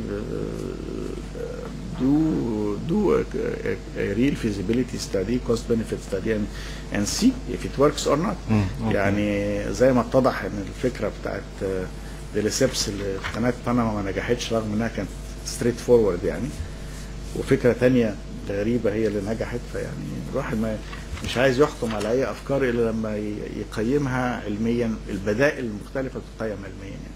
أوكي النقطة التانية اللي عايز أتكلم فيها آه، هي طبعا مصر arid region طبعا. آه، اسكندرية الامطار فيها معدل الامطار ال maximum 200 ملي في السنة فإحنا دلوقتي حتى ال 200 ملي دول بنسيبهم يضيعوا. يعني ليه ما بنعملش harvesting لمية لمياه الامطار يعني حتى في الشوارع بالعربيات بتقف وتلف من شوارع تانية عشان مية ال- الامطار واقفة. طيب لازم يكون في طريقة network لتجميع مياه الامطار دي.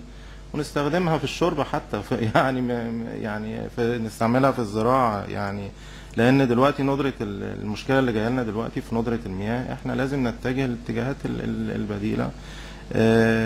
ف يعني I would recommend برضه إن يكون في حد بيشتغل على الهارفستنج في حد ده إحنا بقى. آه يعني ما أنا بتكلم ده- عشان ده, كده. ده إحنا نوزع أبعاد بيننا وبين بعض. آه آه. بس يعني أنا أساسا انت دي لسه points that are still somewhat peripheral to uh, resilience of the delta الاولانيه is more directly the resilience uh, ال water ال fresh water harvesting which is a, a well known and established approach وهتشوف في الجزء الثاني هتكلم عن جزء منه يعني is less بالنسبة آه، ال impact بتاعه على resilience of the delta it's worth studying. Fresh water rain water harvesting is always uh, worth studying. و recharging حتى ال aquifers نعم. يكون أي حاجة تانية يعني. ف, ف ولكن بالنسبة لل resilience of the delta it is less الأولانية ممكن الثانية نشوف يعني. لسه دكتورة اتفضلي. يا فندم. آه، بشكر حضرتك طبعا يا دكتور على this background. يعني كان very enriching طبعا. آه، however أنا بس كنت آه، عندي سؤال وأعتقد يمكن يبقى في ذهن الناس آه، كل الموجودين إن ال models الموجودة بتاعت resilience of delta ال conceptual model اللي إحنا عرضناها من شوية طبعا very efficient لكن we might not find all the data that we need. يعني هنلاقي إن دايما عشان نعمل موديل زي ده آه، أو حتى قريب من ده هنلاقي إن إحنا محتاجين data accurate وهنلاقي إن إحنا محتاجين measurements بعضها أو معظمها مش موجود. فإحنا we need to find a way ان إحنا to يعني to start this work. إحنا محتاجين مجموعة كبيرة جدا من الداتا تبقى accurate تبقى of good quality آه، تبقى ليها standards واضحة علشان نقدر نب يعني نب- نعمل موديل زي ده. إحنا هنواجه المشكلة دي وعايزين نعرف يعني how to approach it لأن في هيئات كتيرة ممكن تبقى عندها data لكن مش بتدي ال data لحد. ف يعني this this problem is central central to the to the group and and to starting the work يعني my view is uh, is simple يعني طبعا uh, في ثلاثة approaches which we can do. واحدة منهم إن إحنا نعتمد ال ال available الموجود وبنعمل interpolations و extrapolations من الحاجات اللي ناقصة. في إن إحنا طبعا بالإضافة لده ممكن نبعت لكل الهيئات ونقول لهم عايزين نطلع على اللي عندكم وحاجات زي كده. وده مش هيبقى مجزي قوي لأن في ثقافة زي الزفت في مصر إن كل واحد يخبي ال data بتاعته عن الناس التانية. لا صحيح أنا أنا مش فاهم يعني يخبي ال data بتاعته عن الناس التانية.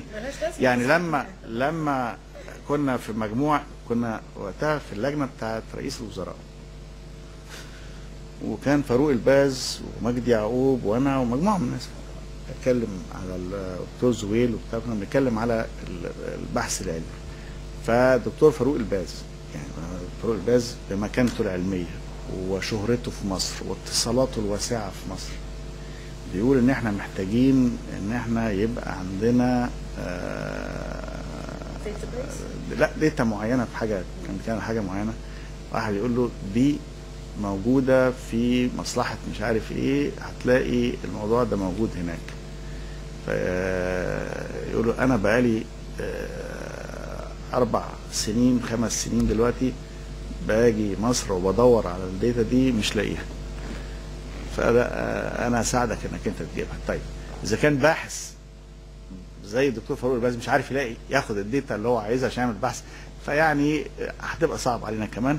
فاني واي إحنا ممكن نخلص ضميرنا إحنا نطلب. إنما الجزء الثالث هو إن إحنا we generate the data. We generate the data. How can we generate data في حاجات كتيرة جدا. كنت بقول للدكتور صلاح. إنه ممكن نعمل approximate data generation الأول ونستعمل proxy variables. يعني it's not accurate but it's close. يعني أنا دلوقتي مثلا اخد مجموعة من الشباب وهنروح في القرى. في مجموعة هتبص على إيه بالظبط المحاصيل اللي بيعملوها ونسأل بياخدوا آه، آه، بتاع ده بيستعملوا مبيدات قد إيه وبيستعملوا مش عارف fertilizer قد إيه وبتاع. وبعدين آه، بي- بي- بيرجعوا يردموا تاني يا صلاح آه، قد إيه وكل كام سنة وكل مش عارف إيه وإيه الدورة اللي بيعملوها دي. وفي نفس الوقت آه، الجماعة ال sociologists وال economists يسألوا على الأسعار وعلى ال living standards وعلى البتاع. Then you if you do this systematically وتقدر حتى آه، تحط ال meters بتاعت ال pedology تقيس كده ال depth بتاعت آه، المية الجوفية. ومن لو أنت تاخد ال coverage بتاعك يبقى ماشي على أبعاد كذا كيلو كذا كيلو كذا كيلو. يعني زي ما تقول ماشيين على على خطوط كده في في الدلتا. تبتدي الأول with a fairly incomplete grid يعني حتى grid واسع شوية بس على الأقل you can interpolate ما بين النقط وبعضها وال extrapolate هتقدر تعمل isoquants تقريبية.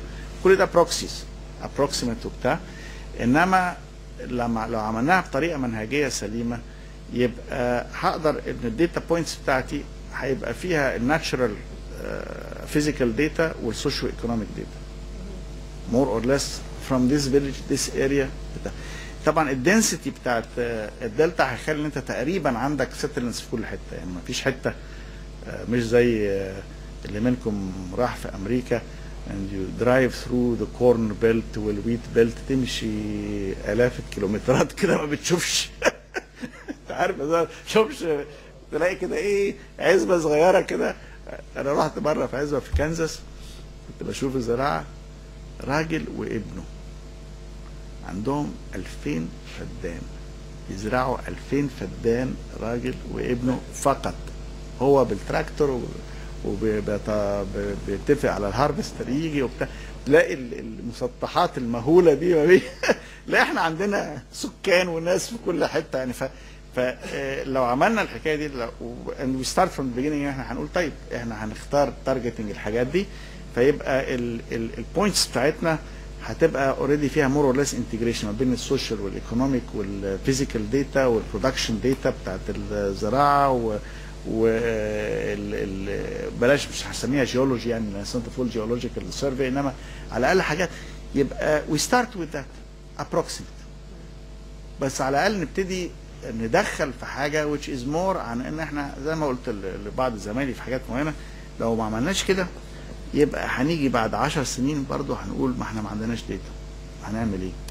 مش قادرين نطبق اللي إحنا نا- بنتعلمه بره واللي بنعمله عندنا على الورق مش قادرين نطبقه عشان ما فيش data. آه إن شاء الله المنهج ال- ال- القميء بتاع إن كل واحد يخبي ال data بتاعته دي ومش عايز يديها للناس يتغير في مصر لأنه مفروض إنه المعلومات تبقى متاحة إلا لو في سبب قهري آه، أمن الدولة مثلا مش هنقول الصواريخ المصرية موجودة في أنهي حتة ولا بتاع دي حاجة تانية. إنما لو معلومات عامة كده لازم تبقى متاحة ومفروض إنها تتاح بطريقة systematic بحيث إن ال researchers كلهم وده يدرس ويقول رايه وده يقول رأي مخالف ويبقى في يعملوا arbitration by by by by the evidence زي ما بيحصل في العالم كله. Should be فا let's start with approximations. ال approximations دي نقدر إحنا to generate them. نفكر فيها شوية. و multidisciplinary teams ونروح نعمل شوية حاجات كده و generate our own data ونشتغل بيها. approximations الأول. وهنجود بعد كده. ده تصوري يعني. اتفضل. طبعا بشكر كل الحاضرين وحضرتك بصراحة اديت presentation هايلة. أه، بس طبعا أنا تقريبا أقل الحاضرين خبرة يعني لسه ما خدتش ماجستير حتى. فمن وجهة نظري المتواضعة يعني أعتقد إن عشان أدرس ظاهرة زي ال climate change أنا محتاج أدرس long term phenomena فمحتاج data مش أقل مثلا 30 سنة. فأسلوب ال approximations أو نعمل extrapolation آه ممكن ينفع في بعض ال يعني ال fields اللي هنشتغل فيها ممكن في الزراعة في المياه الجوفية كده. لكن عشان أدرس physical impact بتاعت ال climate change محتاج على الاقل 30 سنة دي واعمل لها كمان prediction لكمان 30 سنة. فإن أنا أعمل approximations أو extrapolation لهذا الكم من ال data ما أعتقدش هيبقى واقعية قوي يعني. آه، لا disagree وهقول لك ليه. لأنه آه، في حاجات أنت محتاج لها عشان certain drivers. إنما في حاجات آه، آه، يعني عايز تعرف مثلا آه، معدلات سطح البحر بتزيد قد إيه. ال 3 ملي وال 1 ملي والبتاع والحاجات دي. بس دي في ناس تانية كتير بتدرسها. وال phenomena دي يعني are common يعني. البحر مش هيرتفع آه، عند عند جاري متر وما ارتفعش عندي أنا خالص يعني. مش هيحصل أو ينخفض عندي يعني. فتقريبا أقدر أستعمل ال data اللي موجودة. ما تنساش إن زي ما ال title العام بيقول think globally model regionally. فاذا ان إحنا عايزين نفكر في regional models لأن ال global models ال grid بتاعهم واسع زيادة عن اللزوم ف doesn't allow us to reach local action. إنما الجزء اللي كنا بنتكلم فيه بتاع resilience of the data ده is local action. Local action. عشان أوصل local action I need local data. يعني حتى لو عندي the best and most comprehensive models موجودين آه، عالميا ب data yearly data في كل حاجة مش هيكفيني عشان أعمل أشوف resilience at the local level أنهي villages اللي هتتأثر. ال village ده مبني آه، على مستوى إيه من سطح البحر وال village ده مبني عالي وده مبني واطي وده مش عارف إيه والحاجات دي كلها اللي أنا ممكن إن أنا أقدر أوصل ل conclusion منها. جزء منه is stock taking يعني ال village ده اتبنى على 300 سنة. القرية دي بتتبني واللي زود واللي هد واللي بنى مطرح حد وبتاع بس أنا دلوقتي باخد stock taking here is where we are في كذا وحدة سكنية كذا أسرة ساكنين في تجمع في الحتة دي على الارتفاع ده وعايشين على آه، أرض آه، كذا فدان حواليهم. بعضها مملح وبعضها كويس وبعضها آه، مروي وبعضها عليه pollution جاية من مصنع وتقريبا فده stock taking بتاخده من الأول. وبعدين تقدر تقول طيب what would take لو أنا مثلا هنضف ال pollution؟ على فكرة زي فكرة ال pollution لو نظفت ال pollution هل ال ال الكم اللي موجود ده هيتنزح by natural processes ولا هضطر اشيله ولا لأ؟ ده برضو تقدير ممكن الواحد يوصل له يعني. فاللي أنا عايز أقوله إنه so much the the the process of climate change we are studying the process of adaptation to يعني أنا في كل الكلام اللي بقوله لكم ده I'm taking climate change as a given. تمام. فما مش هعمل new model على climate change. أنا بقول طب أنا بقى هعمل إيه؟ يعني لما عملنا الدراسة بتاعت Venice دي قال لك يعني محتاج إن الهواء يقلب ويطلع من الجنوب للشمال ويبقى ماشي بالظبط في وسط الأدرياتيك وبتاع ومش عارف إيه ال chances بتاعتنا هتبقى كذا و statistical probabilities وبتاع بتاع كان ريموت خالص. إحنا عندنا كده الواحد لما بص على الساحل كده و... و... لا يعني ده إحنا هيجي لنا كتير من ده. طيب يبقى اذا أنا دلوقتي هيجي لنا كتير. والله مش هتفرق معايا كتير. هيجوا مرة في السنة مرتين في السنة ثلاث مرات في السنة. هيجي وهيزيد. إيه بقى اللي أقدر أعمله locally to protect myself against ال surge وزي ما كنت بقول الأول ما هو لو قلت لك السقف ده don't worry it's only 10% chance انه هيقع على دماغك دلوقتي ويقتلك. آه، بس ما تقلقش يعني 90% مش هيحصل حاجة. لا هتقول لي برضه شوف حاجة. طيب okay. خلينا نشوف what can we do to protect against ال surge القرار السياسي في الآخر do we need it or not هنعمل protection ولا هنقبل ال catastrophic results ونعالجها بعديها. لأن a, a viable choice. زي ما قلت لكم على حكاية الطيارة ما, بنحبش نتكلم فيها. بس ممكن أقول لا it's too expensive أنا I would rather أحسن ال nutrition بتاعت الأطفال وازود آه، تعليم البنات وأحسن مش عارف إيه. ال priorities اللي عندي في البلد مقابل ال potential risk اللي هيجي from one or two catastrophic events over a number of years آه، صانع القرار هو اللي بيصنع القرار إحنا شغلتنا نطرح ال options ونجيب عليها as much as we can costs and benefits فاحنا دلوقتي بنقول how can we respond to climate change not whether we can really measure climate change لأن في ناس كتير قوي بتشتغل في الحكاية دي. وإحنا ينقصنا يعني إحنا ممكن نطالب العالم العربي كله في دراسة أنا بعملها مع اليونسكو على World Social Science Report آه، العالم العربي is very poor في الشغل بتاع climate change. Social sciences on the climate change is quite limited. جزء منه إن إحنا عندنا ال climate stations الرشة بتاعت ال climate stations اللي بتقيس ال climate في العالم العربي sparse بالنسبة لحتت تانية كتير. يعني بالنسبة لآسيا وأوروبا وأمريكا اللاتينية وبتاع. يعني ما فيش غير أفريقيا جنوب الصحراء اللي هي more sparse عننا يعني. إنما إحنا المفروض العالم العربي متقدم يعني. إحنا نقارن تقريبا بحتت في آسيا يعني. بس آسيا is much more advanced من عدد climate stations وبالتالي ال density بتاعت ال data اللي بيطلعوها آه، كل سنة أكتر مننا بكتير. ففي problem ثانية ممكن نطالب حكوماتنا إنها تزود ال- العدد بتاع ال climate stations وتطلع ده بالنسبة لل climate change إنما السؤال طب افتراضا إن ده بيحصل what should we do يعني مش هقيس بقى ال sea level rise sea level is going to rise. By how much I don't know. How quickly? I don't know. بس it's rising. What can I do هو ده السؤال بقى. يعني إيه الإجراءات اللي أنا أقدر أعملها؟ عشان كده بك... ده, على فكرة في ال cities at risk في آسيا بيتكلموا كده. Whatever it is أنا هونج كونج دي مبنية على المية سنغافوره دي مبنية على المية. أنا سؤالي طيب إذا ال sea level ده هيزيد أنا هعمل إيه؟ هبني سد كبير؟ مش هبني سد كبير؟ هعمل rechanneling للمية إزاي؟ هعمل مش عارف إيه؟ يعني بيفكروا لا يعني okay it's coming anywhere between 10 and 30 years.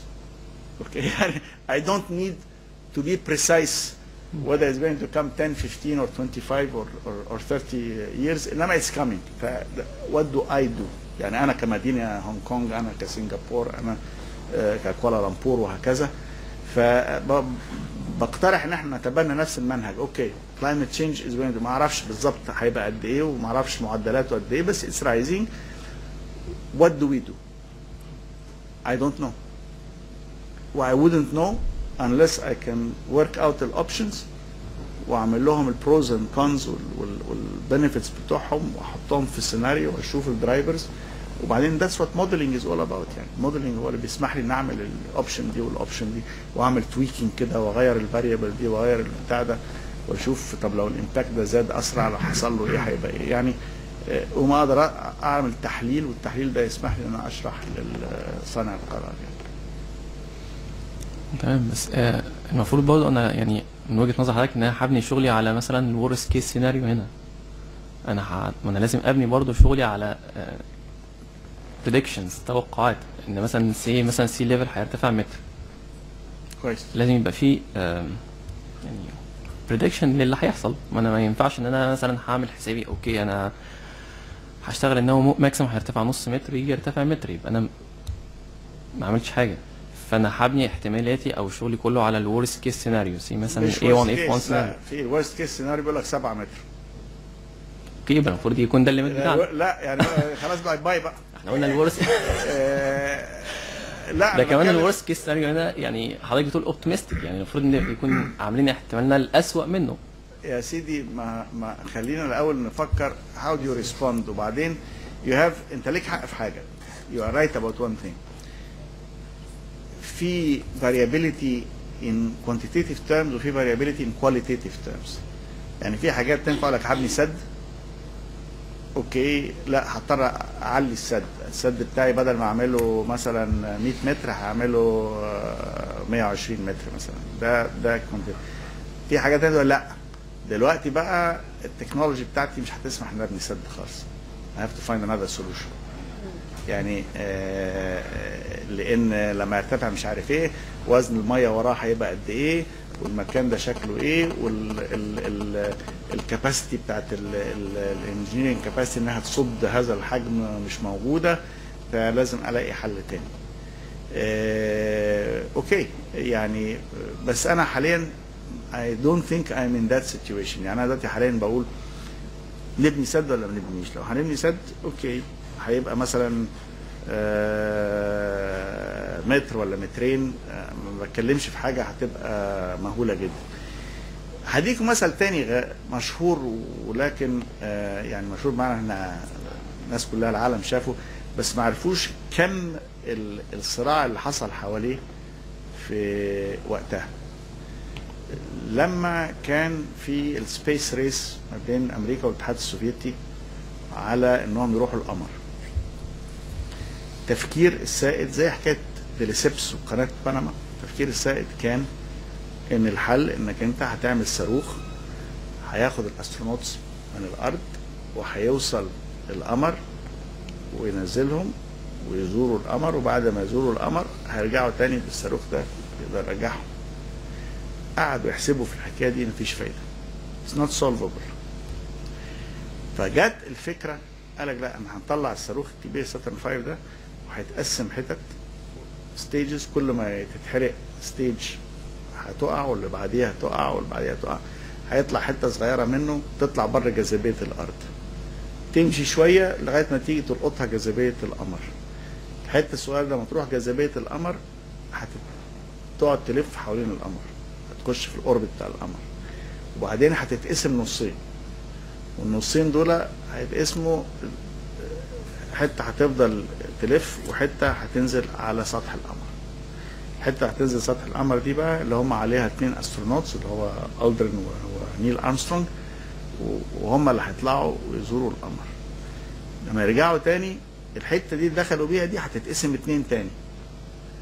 والحتة. هيسيبوا حتة والحتة الصغيرة دي هترجع تاني تلضم مع الحتة اللي بتلف حواليها. والاتنين سوا هيطلعوا وبعدين ال astronaut الثالث هيخش معاهم في الكبسولة بتاعتهم دي وهيرموا الحتة التانية اللي كانت بتلف دي.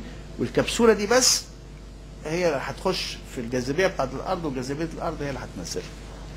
غير كده ال ال الوزن الفيول وكفاءة ال engines وال capacity إنك أنت تحل مشكلة إن ال rocket ده يوصل لغاية القمر وينزل ويبقى عنده فيول كافي إنه يطلع من القمر تاني ويوصل لغاية الأرض كل ما بيكبر ال rocket كل ما بيعمل مشاكل تانية كل ما بيتحلش.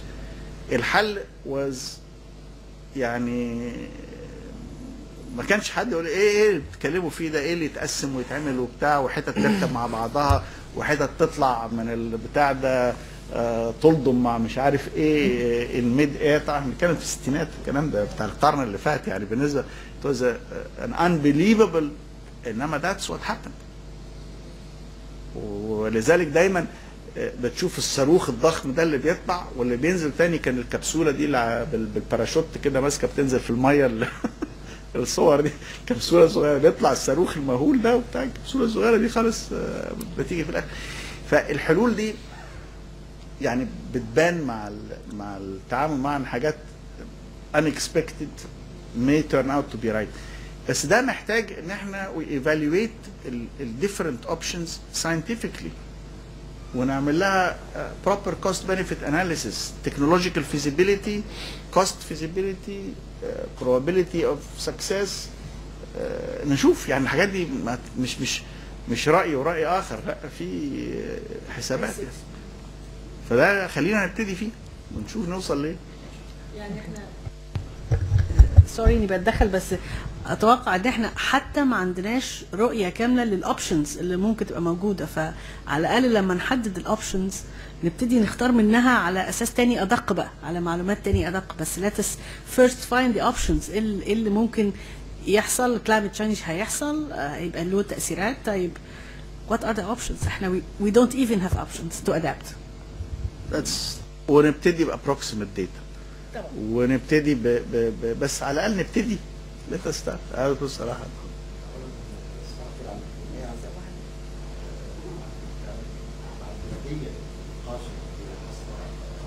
دكتور سارة عايز تتكلم في الميكروفون عشان بيسجلوا لك. هنا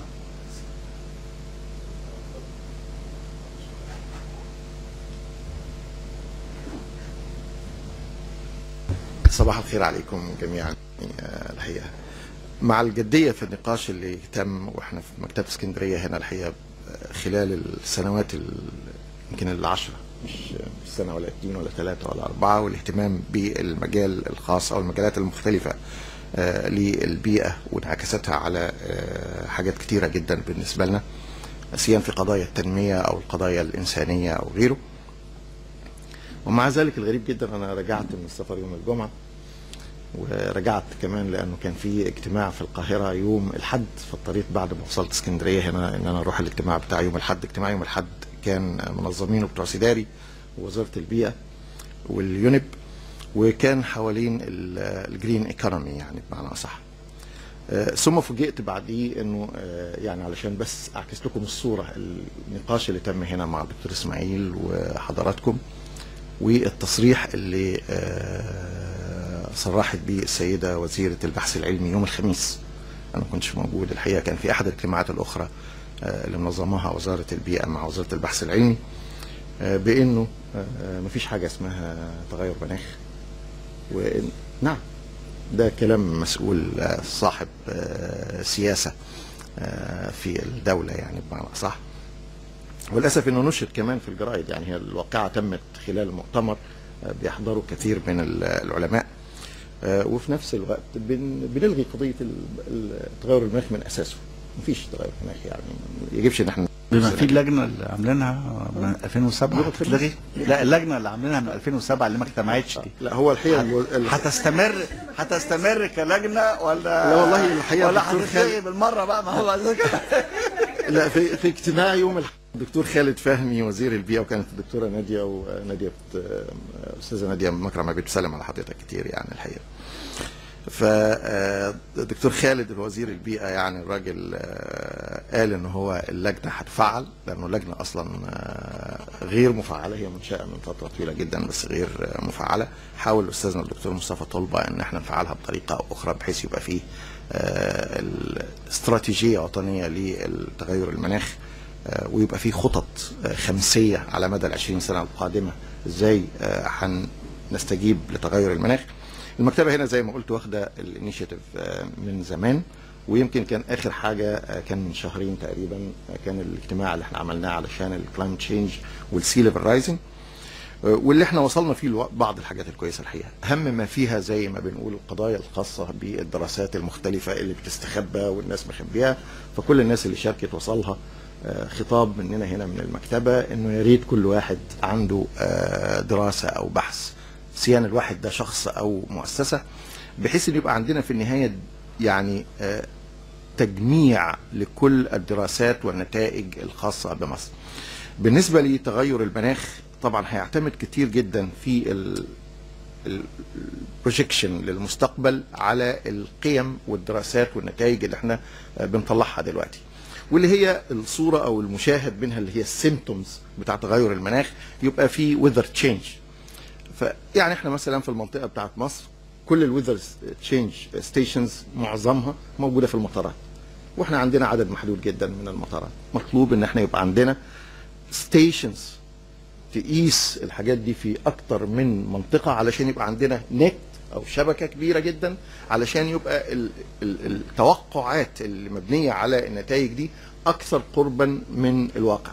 زي ما آه، قال الدكتور إسماعيل وكان الدكتور طلبة والزملاء اللي كانوا مشاركين في الندوه اللي فاتت آه، في سيناريوهات بالنسبة لنا فيما يخصنا في قضية المية ونهر النيل بالتحديد 90% من الدراسات أو أكثر من 90% من الدراسات العالمية بتشير إلى إنه هناك نقص مقداره 70% في كمية المياه المتدفقة إلى حوض نهر النيل.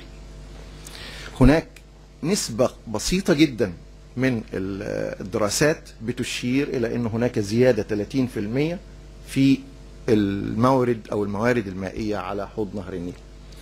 ال- لما أحط هذين ال- ال- السيناريوهين قدام صاحب القرار هيبقى كونفيوزد إحنا بالنسبة لنا في مصر لو زادت 30% مصيبة لأنه هضطر إن أنا يبقى عندي فيضانات وأنا أصلا شلت الطرق اللي بتربط ما بين القرى وسمحت بالبناء في الأحواض. فكل ده هيغرق. البيوت دي كلها هتغرق. على الناحية الثانية لو حصل نقص 70% ده لو حصل نقص 10% عندنا مشكلة ان إحنا already عندنا مشكلة بالنسبة آه، للمية. فمطلوب إن إحنا لما نقدم بيانات لصانع القرار تبقى هذه البيانات بتقول له definite مش definite 100% لكن على الأقل في قناعة كبيرة جدا مبنية على أسس علمية بتقول إنه اللي هيحصل كذا.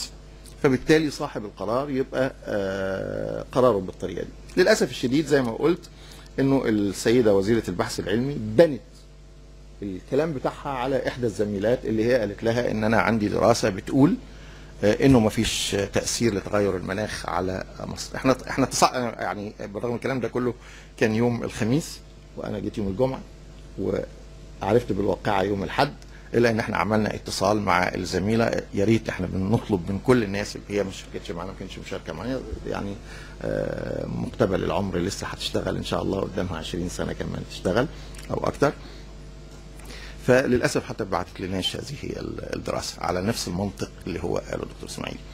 فأنا برجو من الزملاء الحقيقة آه، إنهم يتعاونوا معانا. إحنا ال data دي مش هناخدها مش هن مش هنشيل الأسامي بتاعت الناس ونحط اسمائنا عليها. definitely ما بنعملش كده. ومش هنعمل كده. وما ينفعش نعمل كده لأنه ال data المفروض already published فأرجو إن إحنا نبقى عندنا قناعة. البحث العلمي زي الزواج.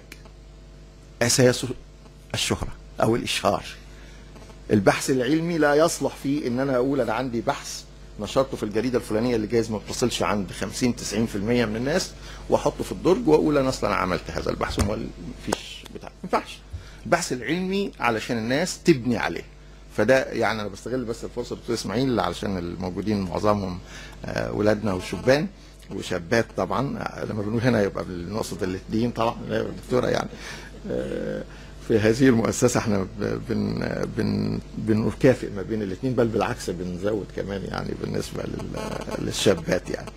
فده الحقيقة الواقع اللي هو آه، موجود عندنا. إحنا محتاجين لعدد كبير جدا أو لدراسات كثيرة جدا علشان اولا نقنع الناس إنه يبقى عندها استجابة.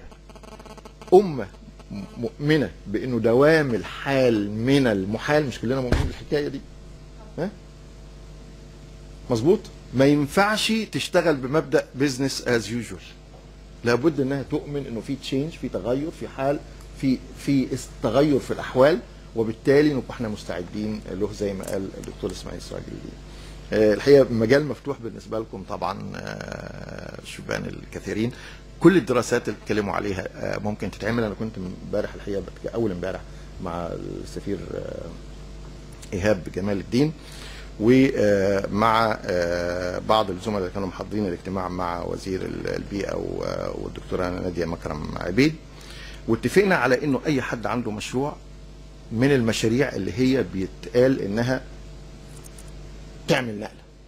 مشروع الدكتور الباز مشروع الدكتور خالد عودة مشروع هيجي هنا في مكتبة اسكندرية أو هنيجي في مكتبة اسكندرية ونلم مجموعة المشاريع اللي لها علاقة بموضوع معين وهيقعد ال peers مع بعض.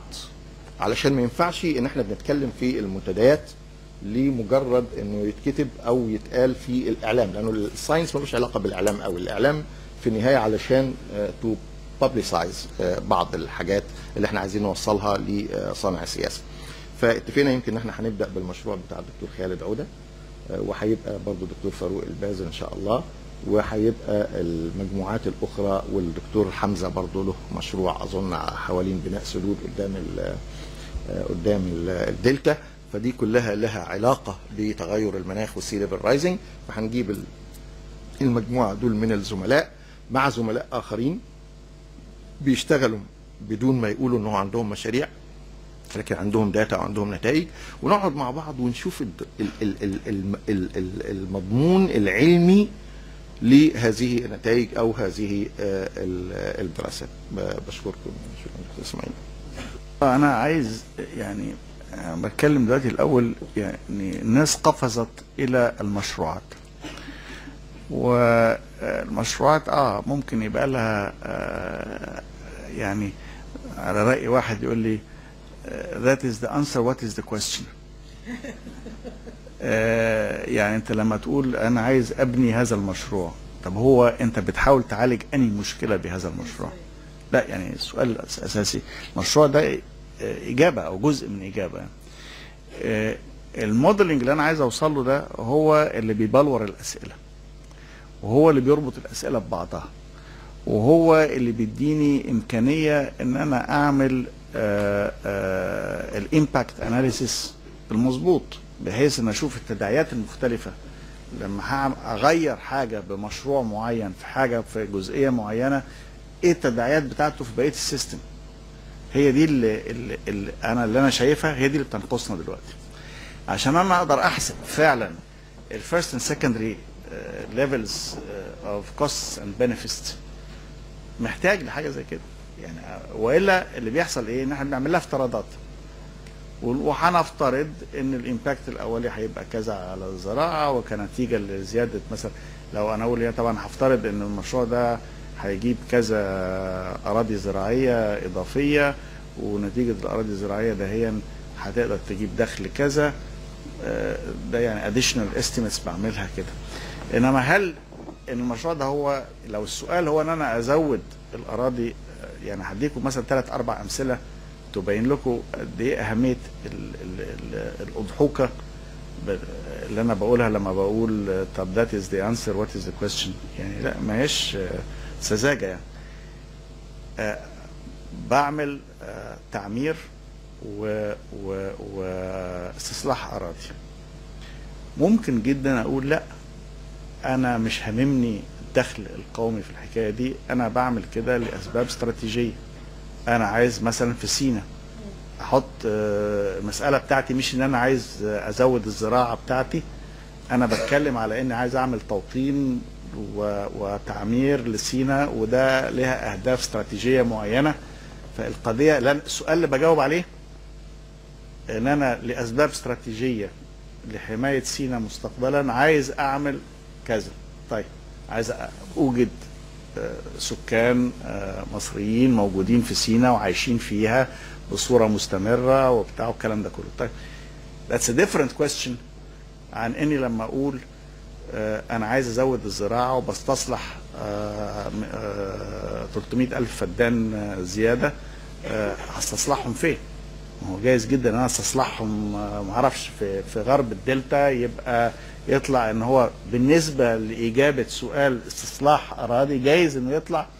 أنسب وأقل سعرا وأحسن من إن أحطه في سينا. إنما هنا بقى في سينا أنا بجيب على سؤال تاني. فلذلك التقييم مختلف. يعني الاثنين فيهم استصلاح أراضي والاثنين هيبقى فيهم تعمير وقرى جديدة وبتاع.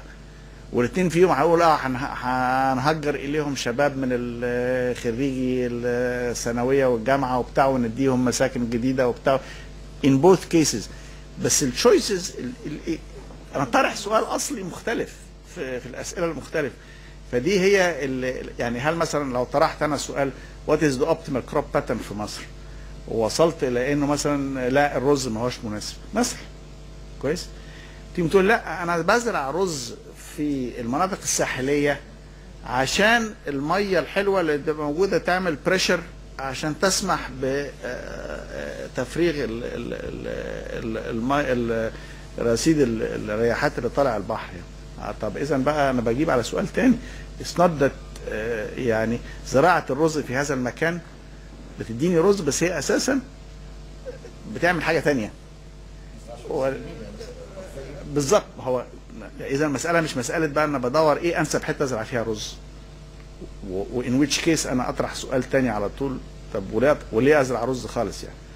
ما ما أزرعش رز أزرع محاصيل تانية وأستورد الرز مثلا يعني. السؤال ده لو أنا بقى في الحتة دي أنا القضية بتاعتي ما هياش مسألة الرز هي مسألة المية. فبتلاقوا فلذلك آه، لما الواحد يبتدي يبص على المشروعات كده لوحدها ويقول لك المشروع ده هيفيد في كذا وكذا وكذا وكذا طب وليه؟ وأنا برضو يعني طرحت السؤال ده زعلوا مني زمان لما قلت الكلام ده. الله يرحمه إبراهيم شحاته وأنا كنا الاثنين مش مقتنعين قوي بمشروع توشكا ده.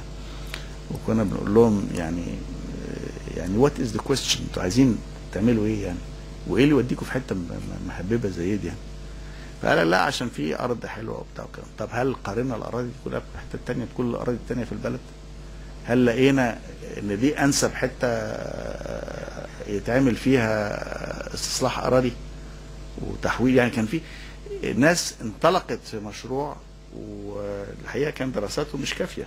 يعني فلذلك بنقول إن إحنا شغلتنا إن إحنا آه، يعني دول آه، مش عايزين نكرر آه، مشكلة ديليسيبس. يعني لما انطلق في مشروع بنما وخرب الدنيا ومات حالته بالبلا بقى يعني منبوذ وبتاع بعد كان علم قال اللي بنى بتاع المهندس بتاع قناة السويس بعد كده فشل بقى فشل ذريع جدا و آه، بإفلاس والش... مات فيه 20000 واحد آه. ماتوا من الأمراض yellow fever mostly ما كانش فيه وقتها vaccines وبتاع ف- أو في القرن التاسع عشر ما كانش فيه ال vaccines بتاعت الحاجات دي ما كانوش عارفين إن البعوض هو اللي بي- بينقل ال yellow fever فالاعداد ضخمة جدا من الناس اللي راحت هناك كانوا بيموتوا كانوا بيستوردوا عمالة زيادة وتموت منهم. والمهندسين يموتوا. كان حكاية يعني صعبة جدا.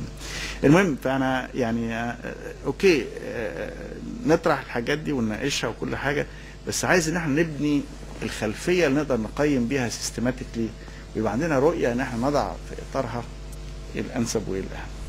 على أي حال ال resilience of the delta is problem number one.